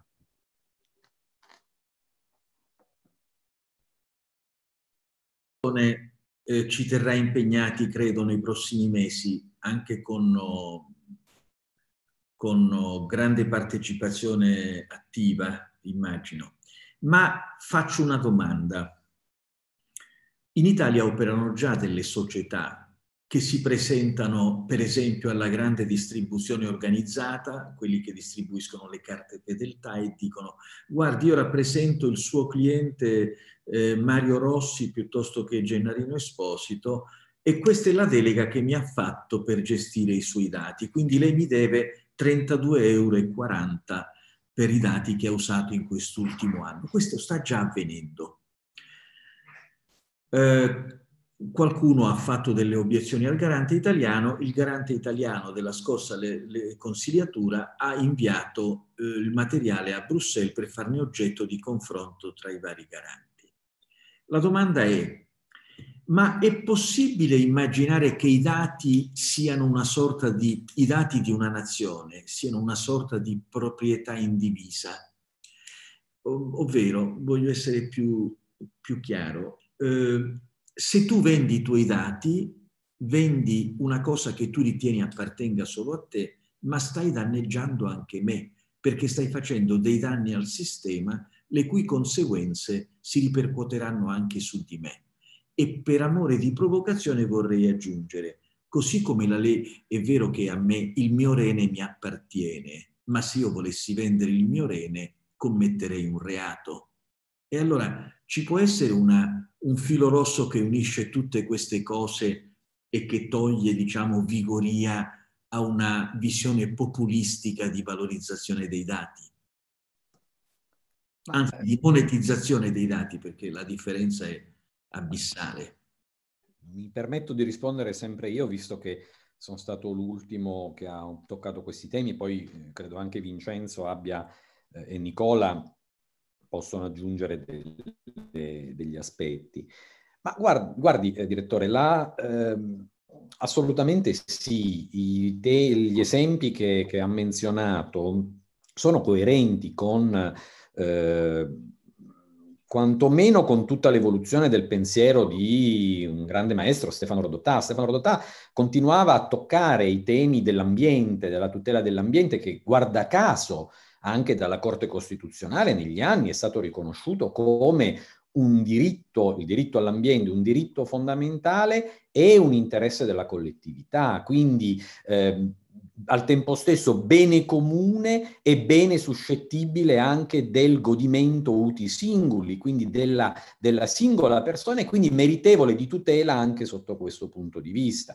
E l'ambiente, ehm, tutta la teoria dei beni comuni che conosciamo, sempre costruita o, o, o portata avanti fino alle estreme conseguenze anche con dei referendum negli ultimi anni e sempre che muoveva i passi dalla, dalla riflessione di Rodotà, tutti i temi anche della bioetica bioetica sono, e quindi eh, che, eh, vedete che giustamente il direttore ha toccato il tema della eh, disponibilità eh, di parti del corpo. Eh, il famoso libro Tecnologie e diritti del 1995 eh, di Stefano Rodotà non fa altro che toccare tutti questi temi aprendo le porte ad un filo comune. Vedete anche il, il fatto che alla fine tutte queste materie siano anche mh, protette per certi versi da la norma più importante della, della, nella teoria della responsabilità del diritto civile, che è la norma sulla responsabilità aquiliana, eh, è parte di quella necessità forte che viene dal basso di tutela di questi elementi. Quindi assolutamente sì.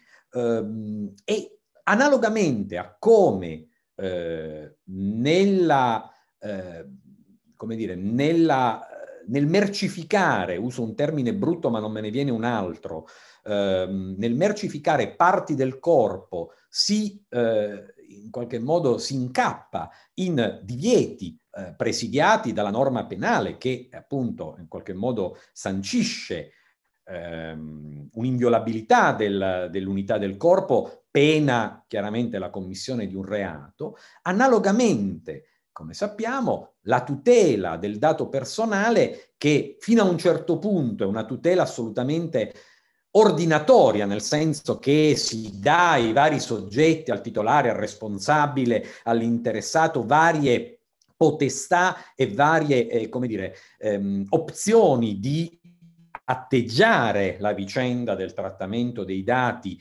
fino a quello che è il limite più estremo della illiceità del trattamento, che si atteggia esattamente come l'illiceità degli atti di disposizione del corpo, cioè non è lecito, eh, come dire, mercificare dati personali laddove nella violazione di legge si persegua che cosa? Il doppio elemento della ehm, guadagno del trasgressore, del profitto del trasgressore e del documento del eh, soggetto interessato. Quindi c'è un fil rouge nella, nel diritto e ora si tratta di veramente passare ad una fase in cui questo fil rouge diventi eh, ehm, come dire, avvolga l'intera eh, vicenda del trattamento dei dati. E qui poi c'è, magari eh, dopo se avremo ancora tempo mi riservo di dire qualcosa, si va sul tema che, che, che il direttore ha toccato all'inizio del problema della sovranità, della giurisdizione, della legge applicabile, ce ne aggiungo un altro, dell'enforcement,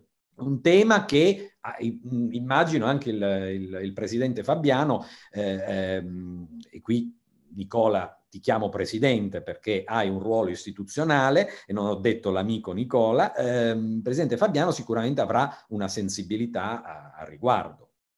Bene, eh, abbiamo pochi minuti prima di eh, dar luogo alla seconda parte, diciamo, del nostro evento perché ci sarà il, il garante europeo eh, Pioroschi. Però vorrei ricorrere per un attimo al presidente Fabiano eh, perché eh, se possiamo dare una sola battuta prima di dare la parola al garante europeo su questo tema della monetizzazione, che è un argomento su cui si scalderanno i motori.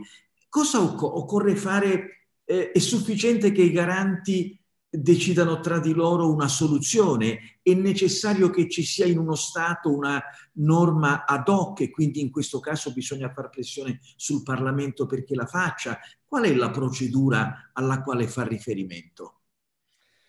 Intanto eh, vorrei esprimere il mio ringraziamento, il mio apprezzamento per eh, gli autorevoli interventi che sono stati, ci sono stati fino ad ora. Eh, ovviamente si tratta di, di, amici che io stimo, apprezzo e, e non avevo dubbi del, eh, circa lo spessore dei loro, dei loro contributi.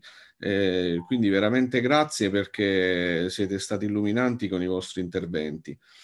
La posizione dei garanti, eh, la posizione dei garanti è una posizione particolare perché eh, intanto perché eh, c'è un, come dire, un, un'individuazione di un'area geografica, perché eh, ovviamente a livello globale, come sappiamo, esiste eh, questa organizzazione, questa associazione che, eh, il cui acronimo è GPA, che sta per Global Privacy Assembly, eh, già eh, nome, questo nome è cambiato da novembre del 2019, prima era International Conference of Data Protection and Privacy Commissioners, in pronun- acronimo impronuncia- quasi impronunciabile ICDPCC. Eh, però questo è un consesso a livello globale che eh, raccoglie eh, le autorità di tutto, di tutto il continente, di tutto il mondo. A mano a mano ci sono sempre più autorità che aderiscono attualmente a GPA. Eh, veniamo peraltro da una, eh, da una conferenza, eh, eh da, da, una closed session, così si chiama, la, eh, l'assemblea dei garanti privacy che si è tenuta qualche giorno fa, eh, dal, dal 13 al 15 ottobre, sono state adottate delle risoluzioni molto importanti. Quindi dicevo, c'è un, un, da fare un discorso in termini geografici perché eh, questo è il consesso internazionale e in seno a questo consesso internazionale ci sono ovviamente, eh, c'è una suddivisione per aree geografiche, perché quello che è il contesto legislativo e normativo, per esempio, dell'America Latina, questo contesto potrebbe non essere compatibile con quello europeo. Quindi eh, fondamentalmente esiste un'occasione di confronto a livello eh, globale tra tutte le autorità, ma poi, come accade qui in Europa, è noto, c'è l'European Data Protection Board che raccoglie le autorità di protezione dei dati eh, in ambito europeo. Per quanto riguarda San Marino, San Marino è un paese terzo, pur essendo all'interno dell'Italia e quindi eh, viaggia su un binario, eh, su, non è eh, componente de, dell'European Data Protection Board quindi dicevo, questo scenario eh, dei, dei, garanti è uno scenario eh, che eh, è suddiviso per aree geografiche. Certo, come avrete potuto notare, lo stesso board eh, ogni tanto, anzi molto frequentemente, eh, pubblica dei documenti che sono dei documenti, fondamentalmente il ruolo non è l'unico, ma uno dei ruoli eh, di, di un'autorità di regolazione è, di, è anche quello di sensibilizzare. Le risoluzioni che sono state adottate a ottobre da GPA sono fondamentalmente non tanto per le autorità di regolazione, perché ovviamente noi conosciamo questi temi, sono eh, rivolte al, all'esterno, sono rivolte a, al legislatore, sono rivolte alle parti politiche. Quindi eh, va fatta un'attività di sensibilizzazione indubbiamente verso questi organi, i singoli organi nazionali, prospettando quelli che sono gli approfondimenti eh, che vengono effettuati in seno a questi consessi, diciamo, specialistici, chiamiamoli così. Eh, per cui eh, intanto, diciamo, eh, ripeto, c'è un discorso di carattere geografico e quindi dobbiamo comprendere a che livello stiamo parlando. Eh, se parliamo a livello globale, ci sono delle posizioni espresse a livello globale che sono senz'altro molto valide e quindi eh, il, il, discorso diciamo eh, andrebbe, io lo andrei in qualche modo a sintetizzare in questo modo. Vedo che è, è, è presente eh, le DPS e, e, quindi vado a, ad accoglierlo. Dear Wojciech, eh, warm welcome.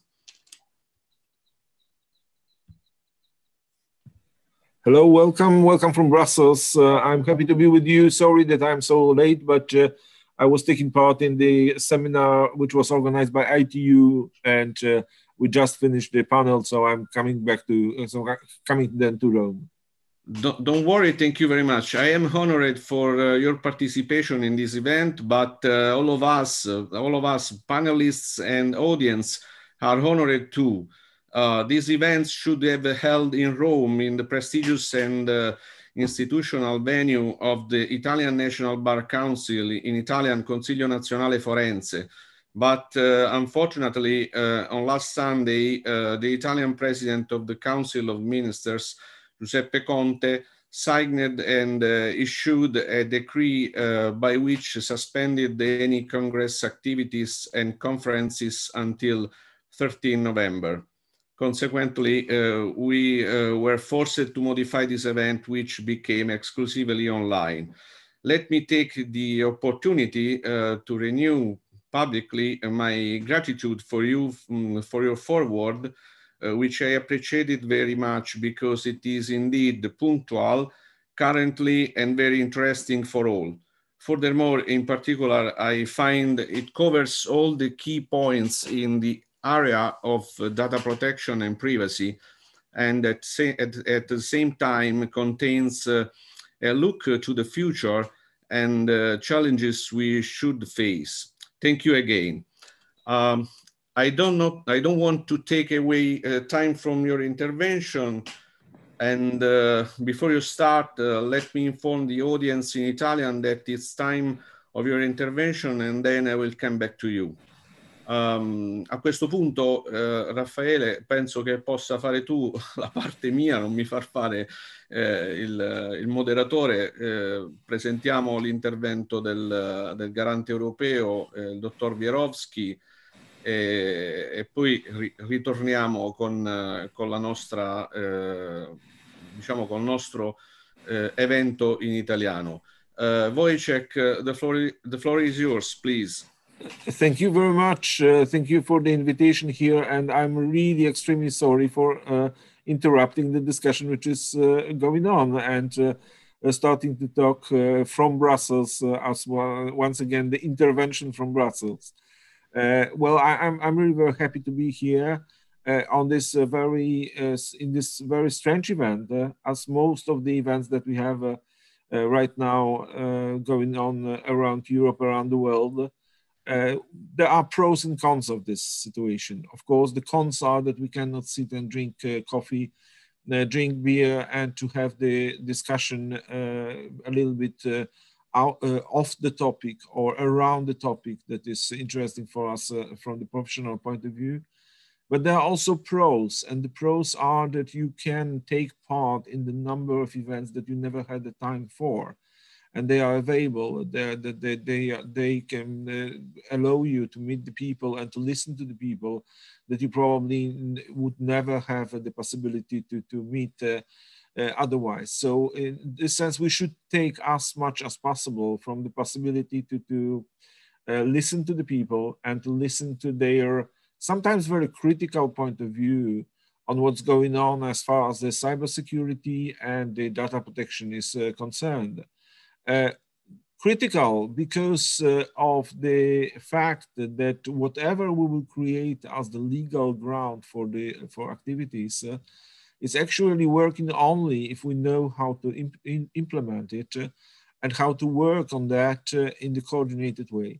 So let me stress this the three points actually, which are the most important for us as data protection authorities the time when we uh, try to make the general data protection regulation the really existing solution. I think I lost you. Okay, am I back? Yeah, yeah. Connected. Uh, okay, so uh, the, the, the, there are three main things which are important for the data protection authorities when we try to make the general data protection regulation and the reform that was done last year's uh, operating in practice. The first is the knowledge. The knowledge and the understanding what's going on, what is going on uh, not only in the business models that are around, but also in the technologies uh, and in the society. What are the societal changes that are going on at the same time when the technology is going on and when the new generations are seeing the world a little bit different than the older, the, the older ones. On the other hand, the, the, the second point, which is uh, extremely important here, is to cooperate uh, and to do the things together.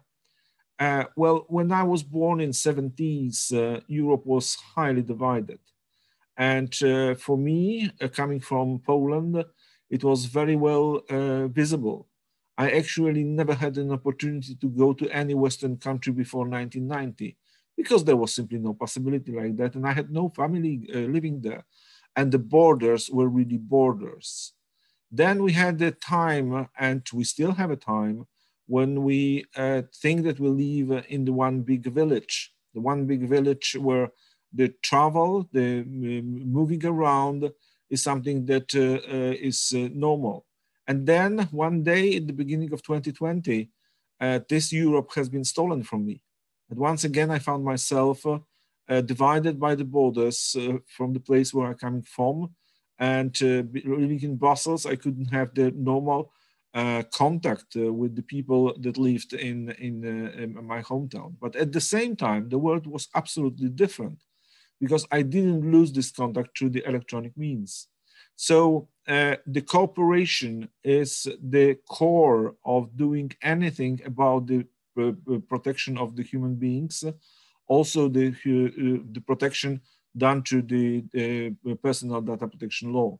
So uh, I'm happy that we are in Rome, but we are with the uh, data protection commissioner from San Marino, and uh, we are here through the borders, through the uh, cultures, and through the different legal jurisdictions. And the third thing, which I would like to remind all of us, although I think that especially those people who are here in the room are the most aware of that, we are not protecting the data. We are not protecting the systems. We are protecting the human beings. We are protecting the people. And the people are in the middle of this discussion. So it means that the data protection is to serve the humankind. It's not to serve the data.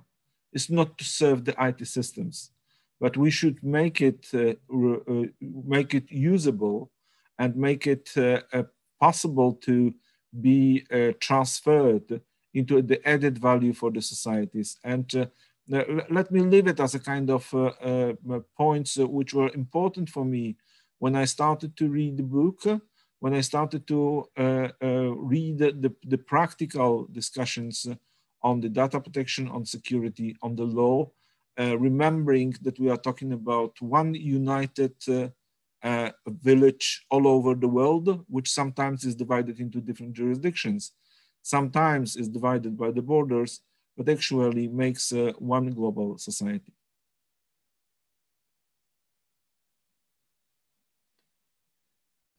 Thank you very much, Wojciech. Thank you. Thank you so much. We appreciate your intervention.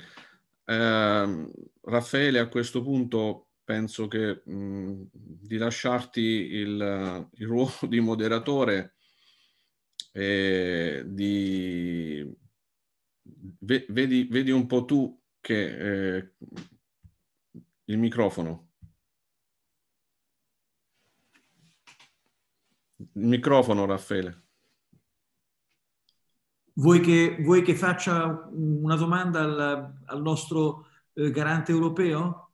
Ma come credete, eh, visto, che lo, visto che l'abbiamo qua, visto che è qua. Uh, Mr. Wirowski, uh, let me ask you a question. Um, in, in course of debate, we touched one very hot topic, which is the monetization of data. Uh, we have in Italy several companies that are uh, involved in the representation of uh, uh, supposed person rights, people that delegate them to be represented in front of companies that have personal data. My question is, uh, when someone asked to the Italian uh, uh, authority, the, the Italian authority passed uh, all the dossier to the European board. Uh, my question is, uh, will it be a solution, a pan-European solution, able to be managed by any country as a law, or it will be necessary that each country will have a, an own um, regulatory framework, uh, a legal a law, an opposite law to regulate any kind of uh, monetization or to obstacle, to struggle any kind of monetization. Which is your opinion about this? Thank you for the question, because this is one million dollar question, I may say. Uh, of course, being the data protection commissioner of the European Union, I would love to see the all European solution. I would love to see all European answer to the question that you ask. Uh, and the, the, the all, uh, and the all European answer to the questions which are asked by the people who are offered this by these companies uh, and by the companies who for their uh, own uh, business models, but also for the good of their clients wants to do the things like that. And uh, uh, I think I will not reveal any confidential information when I will say that when, when Giuseppe Bussia has uh, pre uh, uh, presented that at the European Data Protection Board level, the uh, answers of the people around was, that's a good question. Do we have three or 10 years to discuss before we will go to the final solution? And will the system look like the same when we will find this answer? So uh, we somehow decided at this very moment that we will try to address the burning questions which are from the Italian uh, Garante. And that's something which is uh, done in the subgroup of the uh, European Data Protection Board at the moment. But the whole problem of monetization will stay for a little bit uh, bigger discussion that should be done by uh, the data protection commissioners. And here, my personal, my, my, personal observation, this discussion has not started yet. I'm not sure if the data protection authorities are prepared to start this discussion, but I think they are anyway in much better situation than any of the legislators, uh, the national legislator or the European legislator. I'm very uh, cautious and I'm very delicate with the, giving the possibility for the member states to decide themselves about that uh, and to decide differently. Of course, you, you may once again see it as the uh, Brussels point of view. Yeah, you, we have to do the things together. But if I look at the situations where we gave, uh, we Europeans, we who were in favor of reform of the data protection law, when we gave the room for maneuver for the member states, uh, in these situations where we found the cultural differences or legal differences between the countries, when we thought that the answers may differ from one from another, I would say that the results were sometimes ridiculous. Let me give you one example, which is the uh, age of consent of minors. Of course, there was no way, as it never been in the EU, to create one solution for all the European countries. There are different points of views, there are different cultures, there are different uh, legal, uh, uh legal legacies, I may say, that had to be taken into consideration. But what we got as a result, we got the room for maneuver between 13 and 16 for the countries to choose. And now on the, the opposite sides of this pendulum, there are countries like Lithuania on one side and Latvia on the other side. Czech Republic on one side, Slovakia on the other side. The Netherlands on one side and Belgium on the other side. Ireland on one side and the UK on the other side. Well, I can understand that there are different cultures and different uh, economies even in Europe, but what the hell is differentiating Slovakia from Czech Republic the way that they are on the, the opposite sides of, the, of this pendulum. Of course, these were the political choices that were taken. This was uh, the, the, strong, the, the, strength of different uh, stakeholders in the discussion. And I'm afraid that if we leave the monetization problem to be decided on the national level, we will have the answers which are given either by the stakeholders or by the politicians, or I probably should not say as uh, the person who works in the university, by the strong academic figures. Maybe you will find in uh, Latvia, for example, one professor who will de de decide about Latvian way of looking at, the, at, the, at this point, which is completely different than the Maltese one, and finally different from the Italian one. So I would be in favor of the uh, all European answer, but please don't ask me what should be the answer. Thank you very much, Mr. Bierowski. Thank you very much. Uh, Wojciech, I have a question for you. Uh, in in my book, I I describe the the model named DAPREMO, Data Protection and Privacy Relationships Model, which I consider a new approach to um, uh, achieve uh, goals in the field of data protection and privacy. What do you think about? Could be uh, a, a, good way, or you are uh, you have, or do you have another opinion about it? Uh, well, first I have to decide in which hat uh, uh I, am uh, answering this question. Am I answering that as the European Data Protection Supervisor? If yes, then I would say, well, it's an interesting uh, idea that has to be taken into consideration in order to decide if it fits to the system that we created in Europe. But if I'm a, an academic, if I'm the person who works in the university at the same time and who, who teach the students uh, and who thinks about uh, the way to understand uh, uh the, the, the, society as it looks like, it seems to be a very interesting answer for me. Or maybe not answer, maybe path to the answer, the, the way to, to, to find the answers uh, for, for, for the future. So uh, I'm happy to take part in the discussion of that but probably more like an academic. I don't think if the regulators or the legislators are ready for such a solution at the moment.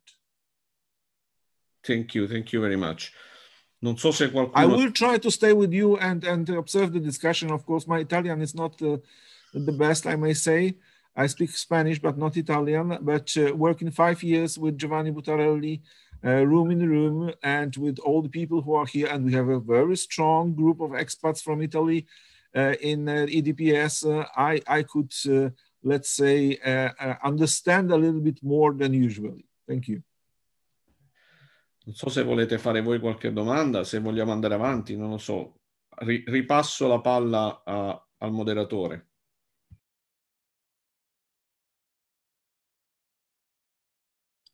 Chiedo scusa, non, ma Mr. Biorowski si trattiene ancora con noi? Mr.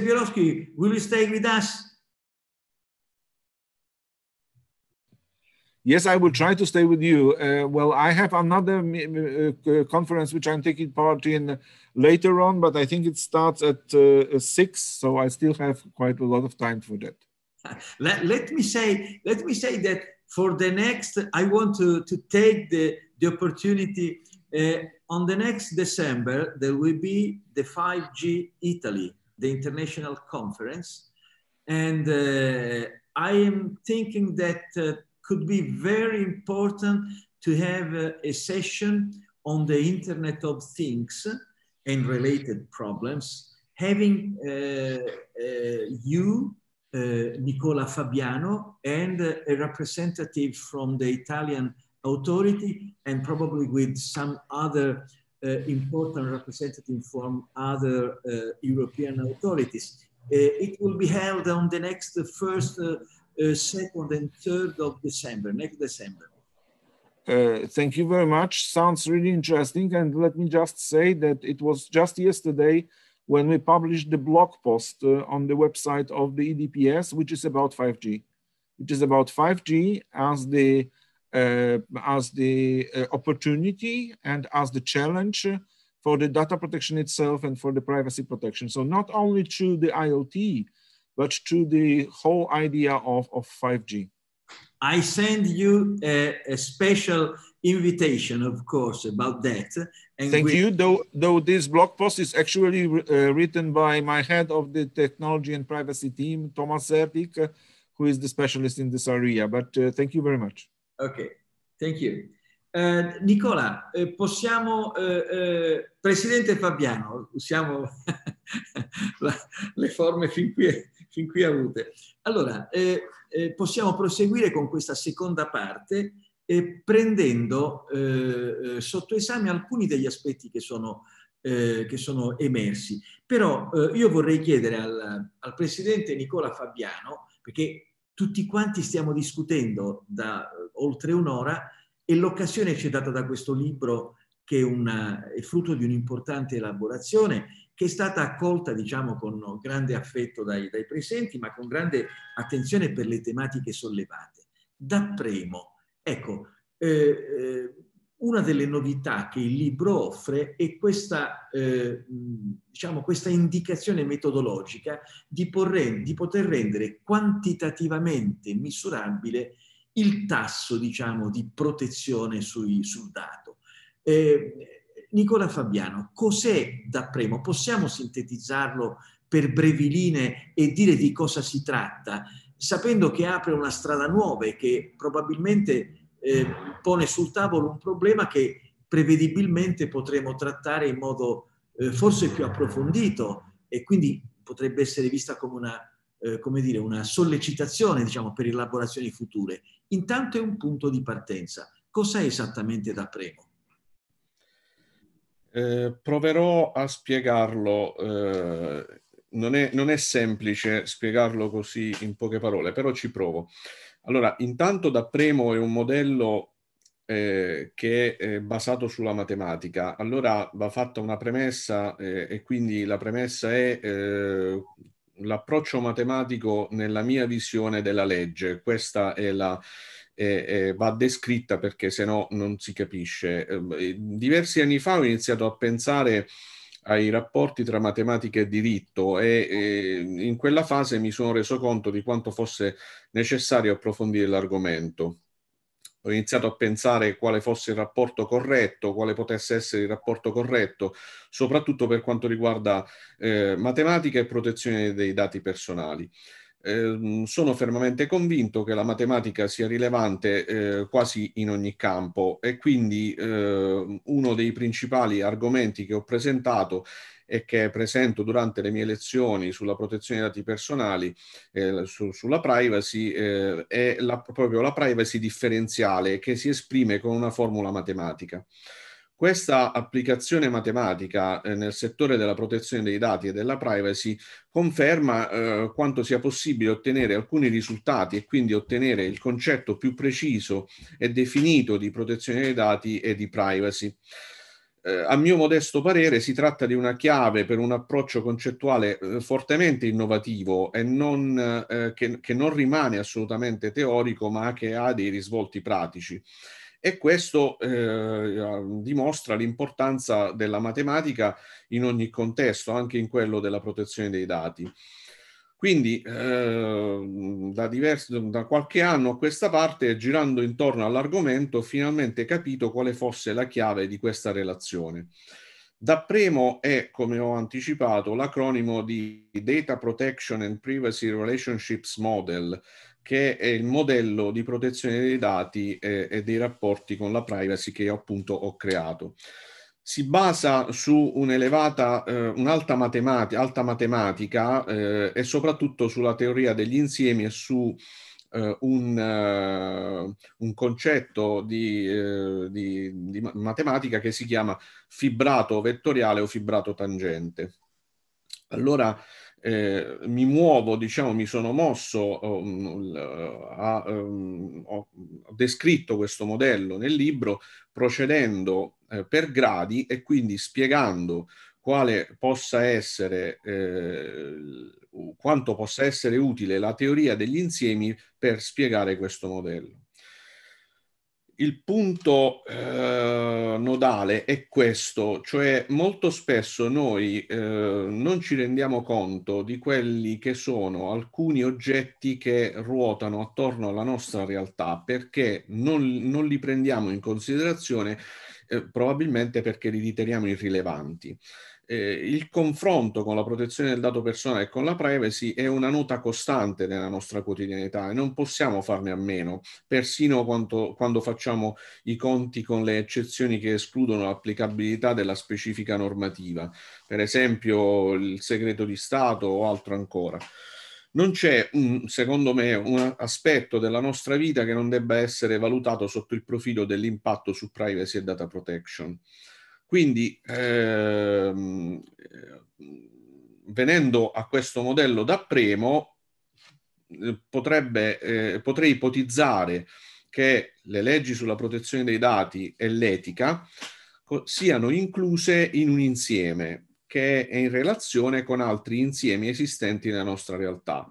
Prima facevo riferimento agli occhiali tridimensionali, alla, alla, realtà, alla realtà aumentata, eh, immaginiamo come se eh, guardassimo una realtà aumentata e ci rendessimo conto che eh, a fianco a noi, intorno a noi, ci sono delle, ipotizziamo delle sfere, io le chiamo così, che sono sostanzialmente degli insiemi che contengono dei, eh, degli oggetti.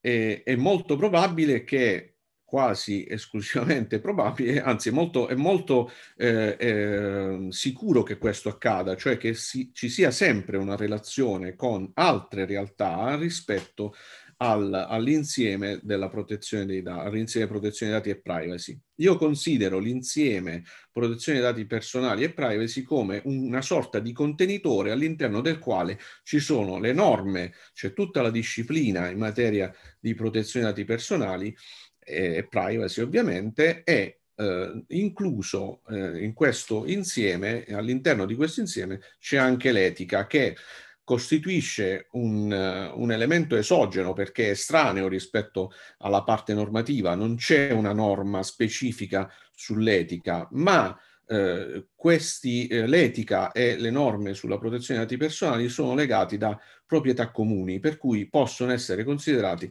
all'interno dello stesso insieme. Quindi eh, facendo questa riflessione, cioè considerando eh, sostanzialmente eh, altre realtà che ruotano attorno alla nostra, eh, attorno alla sfera della protezione dei dati, eh, possiamo certamente individuare dei collegamenti o con gli oggetti che sono contenuti all'interno di un insieme, oppure eh, direttamente eh, possiamo individuare dei, dei, delle relazioni tra i singoli insiemi.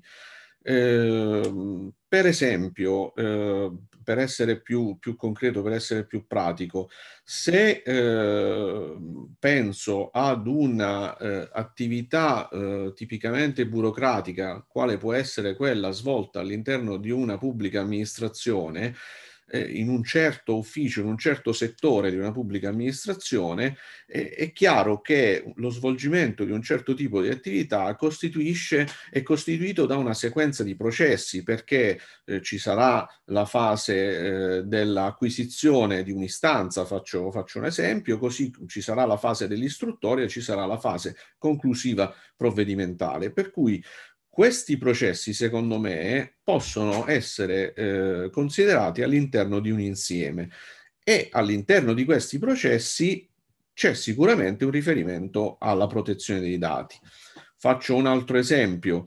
Eh, immagino eh, la, una, la, un'attività di business di una società che appunto fa business e eh, all'interno diciamo dei processi che vengono svolti da questa eh, eh, organizzazione ci sono sicuramente dei legami con la protezione dei dati personali quindi si creano ulteriori insiemi Ora io considero, ma questo è detto in maniera molto molto sintetica, ovviamente nel, nel libro è descritto, eh, il tutto è descritto in maniera molto dettagliata con dei riferimenti anche matematici che giustificano tutto questo eh, percorso eh, concettuale, io immagino una relazione esistente tra eh, l'insieme protezione dei dati e privacy e quel, tutti gli altri insiemi che appartengono alla nostra realtà quotidiana. Tendenzialmente si va all'infinito perché si possono creare delle relazioni con una infinità di insiemi che sono presenti nella nostra realtà. Per spiegare, per cercare di rendere comprensibile questo concetto che poi matematicamente è espresso con un fibrato vettoriale, un fibrato tangente, un concetto complicato eh, che mm, diciamo eh, i, chi, i, giuristi eh, probabilmente non conoscono, eh, io raff- eh, spiego tutto questo eh, cercando di presentare questo, questo, questo approccio come se fosse un libro le cui copertine la copertina anteriore, la, la, la, prima di copertina, diciamo la copertina, eh, eh, la front cover è eh, la copertina, quella che chiude, vanno, il libro si apre a 360 gradi e le copertine combaciano tra di loro. Avremo un, una sorta di eh, cilindro, chiamiamolo così per capirci, però con una caratteristica che tutte le parole che sono contenute all'interno di ogni pagina di questo libro si eh, eh, intersecano tra di loro attraverso dei segmenti, chiamiamoli segmenti, cioè vengono eh, le pagine, diciamo così, trafitte da un, da un segmento che costituisce il legame tra una parola e un'altra. Graficamente eh, è, eh, può essere molto simile ad una eh, spazzola eh, per capelli, ad una spazzola di quelle eh, rotonde dove il fusto rappresenta l'insieme data protection e le singole setole che si intersecano tra di loro sono esattamente, costituiscono esattamente i punti di intersezione, di congiunzione tra, l'insieme data protection e gli, eh, gli altri insiemi o i singoli oggetti che si trovano nella realtà. Mi rendo conto che è eh, abbastanza complicato entrare in, questo, in, questo, uh, in quest'ottica, uh, avere un approccio di questo tipo, però ritengo che uh, sia una... Eh, sia un viatico, un, un, tentativo innovativo molto interessante perché eh, un approccio di questo tipo consente una valutazione molto più completa. Io faccio sempre l'esempio di chi guarda un, un, un, una situazione da una finestra e di chi può guardarla da un terrazzo o addirittura at- da un aereo, da un drone, ha una visione diversa, ha una visione molto molto più ampia. Quindi questo eh, strumento, questo modello serve ad avere una visione molto più ampia di un, di un certo fenomeno. Per essere ancora più compre- completi, eh, più, più, concreti, cerco di spiegarlo eh, così. Se eh, dobbiamo fare una, un'analisi di un certo fenomeno, per esempio dobbiamo approfondire un una certa applicazione per capire quale possa essere l'impatto in materia di pri- su, su, privacy e, e protezione dati personali, se ci fermassimo a guardare la semplice applicazione, otterremmo un risultato molto riduttivo perché guarderemmo quell'applicazione in realtà quell'applicazione non, è, ehm, no, non esiste da sola, ma ha dei legami con altre situazioni che appartengono alla realtà.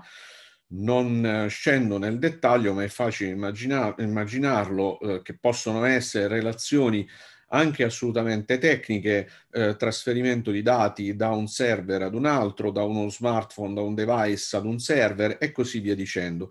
Se io riuscissi ad avere una, uh, riuscissi a, a, a effettuare un'analisi più approfondita, per esempio, di questa applicazione con questo, uh, utilizzando questo approccio che è eh, all'interno del modello, io ritengo che si possa avere una valutazione molto più ampia tale da eh, eh consentire una, eh, una, come dire, un, un esame, un'analisi più, più eh, molto più ehm, convincente e molto più preciso allora qualcuno probabilmente mi chiederà eh, quali potrebbero essere gli effetti pratici. Io ritengo che eh, gli effetti pratici ne possano, ne possano scaturire diversi perché eh, abbiamo, possiamo avere effetti sia, mh, cioè mh, quale può essere l'utilizzo pratico.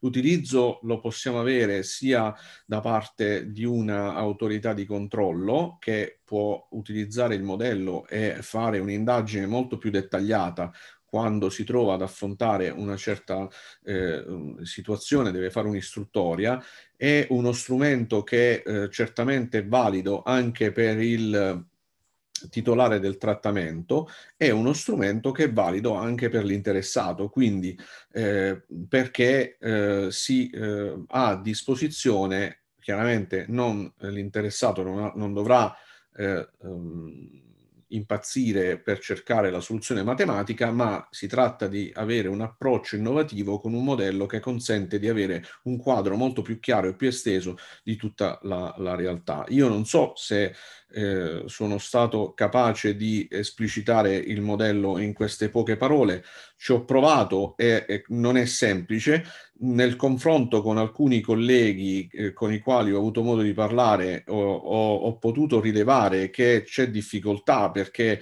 eh, si tratta, da un lato si tratta di, un, eh, di uno slancio, come dire, concettuale importante perché siamo abituati noi giuristi ad avere un certo tipo di approccio al, eh, alle questioni che sono tipicamente giuridiche. Quindi da un lato c'è bisogno, secondo me, di eh, avere un, eh, la disponibilità a valutare questo tipo di soluzione. Dall'altro lato mi rendo conto che eh, una eh, definizione, per così dire, una descrizione che possa essere molto vicina a, ad aspetti eh, della matematica può creare disorientamento, però è solo una, una impressione iniziale. Poi eh, basta, eh, diciamo, soffermarsi un pochino, avere un po' la pazienza per soffermarsi su questo tipo di, eh, di approccio e io sono convinto che eh, diventerà subito molto più familiare e più chiaro. Bene, grazie Nicola Fabiano. Ho, avrò un'ultima domanda tra pochi attimi ed è una domanda che riguarda eh, il lancio di palla finale del libro, ovvero il dopo, il futuro. E parlando di futuro, eh, quando si parla di futuro la prima cosa che viene in mente chi sono? I giovani, eh, i ragazzi, cioè sono loro il futuro. Vincenzo Colarocco ha citato prima le scuole, proprio con questa, con questa logica, con questo contesto mi pare di aver avvertito. Quindi eh, vorrei fare una piccola domanda un po' provocatoria a Rocco Panetta e Vincenzo Colarocco, prima di passare a quell'altro aspetto di futuro del libro di Nicola Fabiano. Se pensiamo alle nostre scuole, proprio parlando di opportunità e di consapevolezza, queste due parole cardine che stanno nel titolo del libro di Nicola Fabiano, e se pensiamo, se guardiamo alle scuole, noi abbiamo le scuole come un'entità nazionale nella quale la privacy è veramente una grande sconosciuta. Abbiamo grandi multinazionali che fanno il giro del paese e danno gratuitamente registri scolastici. Abbiamo strutture di prima infanzia dove vengono aperte email a bambini di 3-4 anni senza chiedere neanche il consenso ai genitori per poter comunicare. Le... Ma stiamo smarrendo.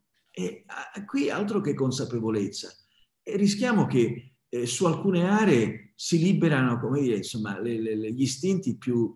più, più eh, come vedete voi due, Rocco Panetta e Vincenzo, Vincenzo, Vincenzo Colarocco, eh, da questa... Eh, Raffaele, grazie alla domanda. E poi un tema che tocco molto da vicino avendo un bimbo piccolo. Eh, al netto di questo che conosco co, co, con mano, il tema di parlare dell'educazione digitale è sia rivolta agli studenti ma anche e soprattutto agli operatori. Io vedo uno spiraglio nel prossimo futuro che si collega alla domanda che tu avevi fatto prima, avevi introdotto il tema del sovranismo digitale, il progetto Gaia X.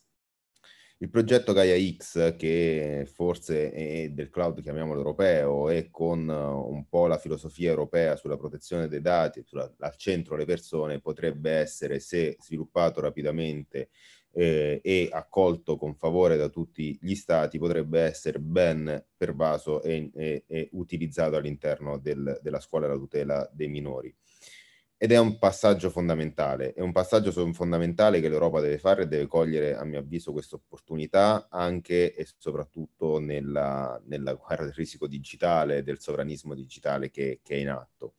Eh, veramente in sintesi perché il tempo sta finendo, la, la, la, la, mia risposta quindi può essere questa, educazione digitale sia per gli operatori, ma educazione digitale basata sui, mh, sui cardini della privacy, della tutela della persona, per gli studenti affinché si possa dare il pensiero critico, per gli operatori per aumentare la consapevolezza e sfruttare anche le opportunità che dei nuovi mezzi tecnologici e accelerare dal punto di vista istituzionale il progetto Gaia X che eh, dovrebbe il 18 e il 19 novembre mh, da, eh, darci un po' il planning dell'implementazione, molto in sintesi. Grazie. Rocco Panetta, grazie Vincenzo Colarocco. Rocco Panetta, ma dobbiamo proprio rassegnarci all'idea di abbandonare a se stessi presidi, professori, interi istituti con un ministero che non dà neanche una indicazione dal maggio 2018 a oggi. È questa l'idea fu- del futuro che abbiamo oggi? Ma è possibile? Guardi, direttore, il rischio c'è ed è forte perché anche nelle parole del DPS abbiamo sentito ehm, sicuramente mh, tanti spunti eh, importanti anche di apprezzamento rispetto a tentativi eh, come quello dell'autorità italiana eh, sul tema della monetizzazione o sul giudizio espresso su Dapremo, eh, un giudizio come dire scisso tra eh, il giudizio personale del, dell'accademico, quindi della persona, dello studioso e il giudizio dell'autorità. Io credo che sia proprio questo il problema. Le autorità devono ricordarsi di essere autorità, cioè eh, deve finire il tempo in cui abbattuta o seriamente ci si impiega dieci anni per prendere una decisione. Come vedete, tem- nel 2000 eh, Rodotà e Buttarelli immediatamente colsero, cioè cinque anni dopo l'entrata in vigore della direttiva 95-46, colsero che il problema era quello del trasferimento all'estero dei dati e andarono a Washington a obbligare questi signori a stipulare un accordo sul tema della, dei flussi internazionali dei dati, un accordo che poi, come dire, non è stato mantenuto adeguatamente, ha fatto la fine che ha fatto, parlo del safe harbor, ma noi passati più di vent'anni siamo ancora lì, siamo ancora fermi allo stesso punto. Allora sentir dire che le autorità eh, impiegheranno per discutere sul tema della monetizzazione boh, 3, 5, 10 anni, a me viene, mi vengono i brividi. Ringrazio il Signore che faccio il lavoro che faccio e non sono più in, in, in autorità, perché altrimenti la musica sarebbe stata sicuramente diversa, quantomeno mi sarei fatto esplodere all'interno del garante per far sì che certi temi eh, eh andassero in una certa direzione. Quindi diciamo che resto anch'io un po' preoccupato e però è chiaro, non dobbiamo, guarda, eh, sono, sono, tempi in cui se perdiamo la speranza su tutto siamo finiti, eh, abbassiamo la saracinesca e arrivederci, grazie. Quindi facciamo molta attenzione. Verissimo, non perdiamo mai la fiducia. Nicola Fabiano, una battuta finale, abbiamo pochi minuti perché se guardiamo al futuro e pensiamo ai ragazzi che abbiamo nelle nostre case, e se guardiamo al futuro di ciò che la, il settore ci, eh, ci riserva, eh, io guardo alle ultime pagine del suo libro dove si parla di neuroscienze e neurobioscienze e quindi si aprono mondi nuovi sostanzialmente. Che cos'è che ci aspetta da questo punto di vista, Nicola Fabiano? Dobbiamo cercare di guardare oltre, di non fermarci a quello che abbiamo avanti in questo momento, perché quello che è il futuro è già presente. Eh, io affronto il tema delle neuroscienze facendo questa eh, riflessione molto molto in, in breve. Eh, sappiamo benissimo che gli scienziati ehm, utilizzano le più innovative ed elevate tecnologie, che sia intelligenza artificiale, robotica, eccetera, nelle neuroscienze e nelle, nelle neurobioscienze e si stanno eh, impegnando moltissimo per studiarne gli effetti eh, soprattutto sull'uomo. Ci sono peraltro degli esperimenti fatti già anche sugli animali. Eh, io ritengo che il termine ho coniato un termine che è neuroprivacy, o meglio, eh, questo è un termine che già eh, così viene, è stato diffuso eh, da qualcuno. Eh, questo termine possa, eh, credo che sia utile per eh, descrivere al meglio un ecosistema della protezione dei dati personali legata alle neuroscienze e alle neurobioscienze.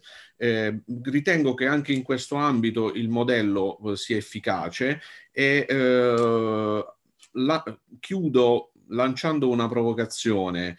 Eh, su questo tema delle neuroscienze e neurobioscienze, io nel libro ho descritto eh, un approccio in termini di diritti, a, eh, di, diritti di neuroprivacy è una nuova categoria di diritti, eh, questa è una provocazione e sarebbe opportuno che non in questo contesto, magari anche in un altro momento se ne possa parlare perché è un tema che ritengo importante.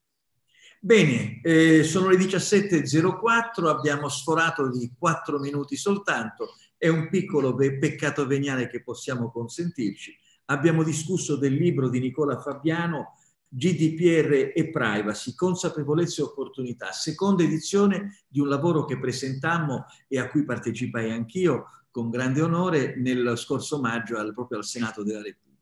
Questa nuova edizione è un'edizione che porta avanti l'asticella, 252 pagine distribuite in quattro densi capitoli con tanti allegati. Io vorrei chiudere questo nostro evento eh, ringraziando gli illustri ospiti che abbiamo avuto, eh, l'avvocato Carla Secchieri e l'avvocato Carolina Scarano in rappresentanza del Nazionale, del Consiglio Nazionale Forense e i nostri due eh, illustri, illustri eh, discussant eh, che sono stati l'avvocato Vincenzo Colarocco e l'avvocato Rocco Panetta. E naturalmente un ringraziamento per averci messi tutti assieme intorno a un tavolo virtuale a Nicola Fabiano, garante della privacy dello Stato di San Marino e eh, amico e professionista stimato e conosciuto, come abbiamo visto, e apprezzato, come abbiamo visto, anche oltre confine. Quindi grazie a voi tutti e grazie a coloro che ci hanno seguiti e questa, eh, questo video sarà poi diffuso eh, in tutte le modalità di rito eh, attraverso la rete e eh, anche noi cercheremo di dare un piccolo contributo per questo. Grazie a tutti. Arrivederci. Grazie, arrivederci. Arrivederci.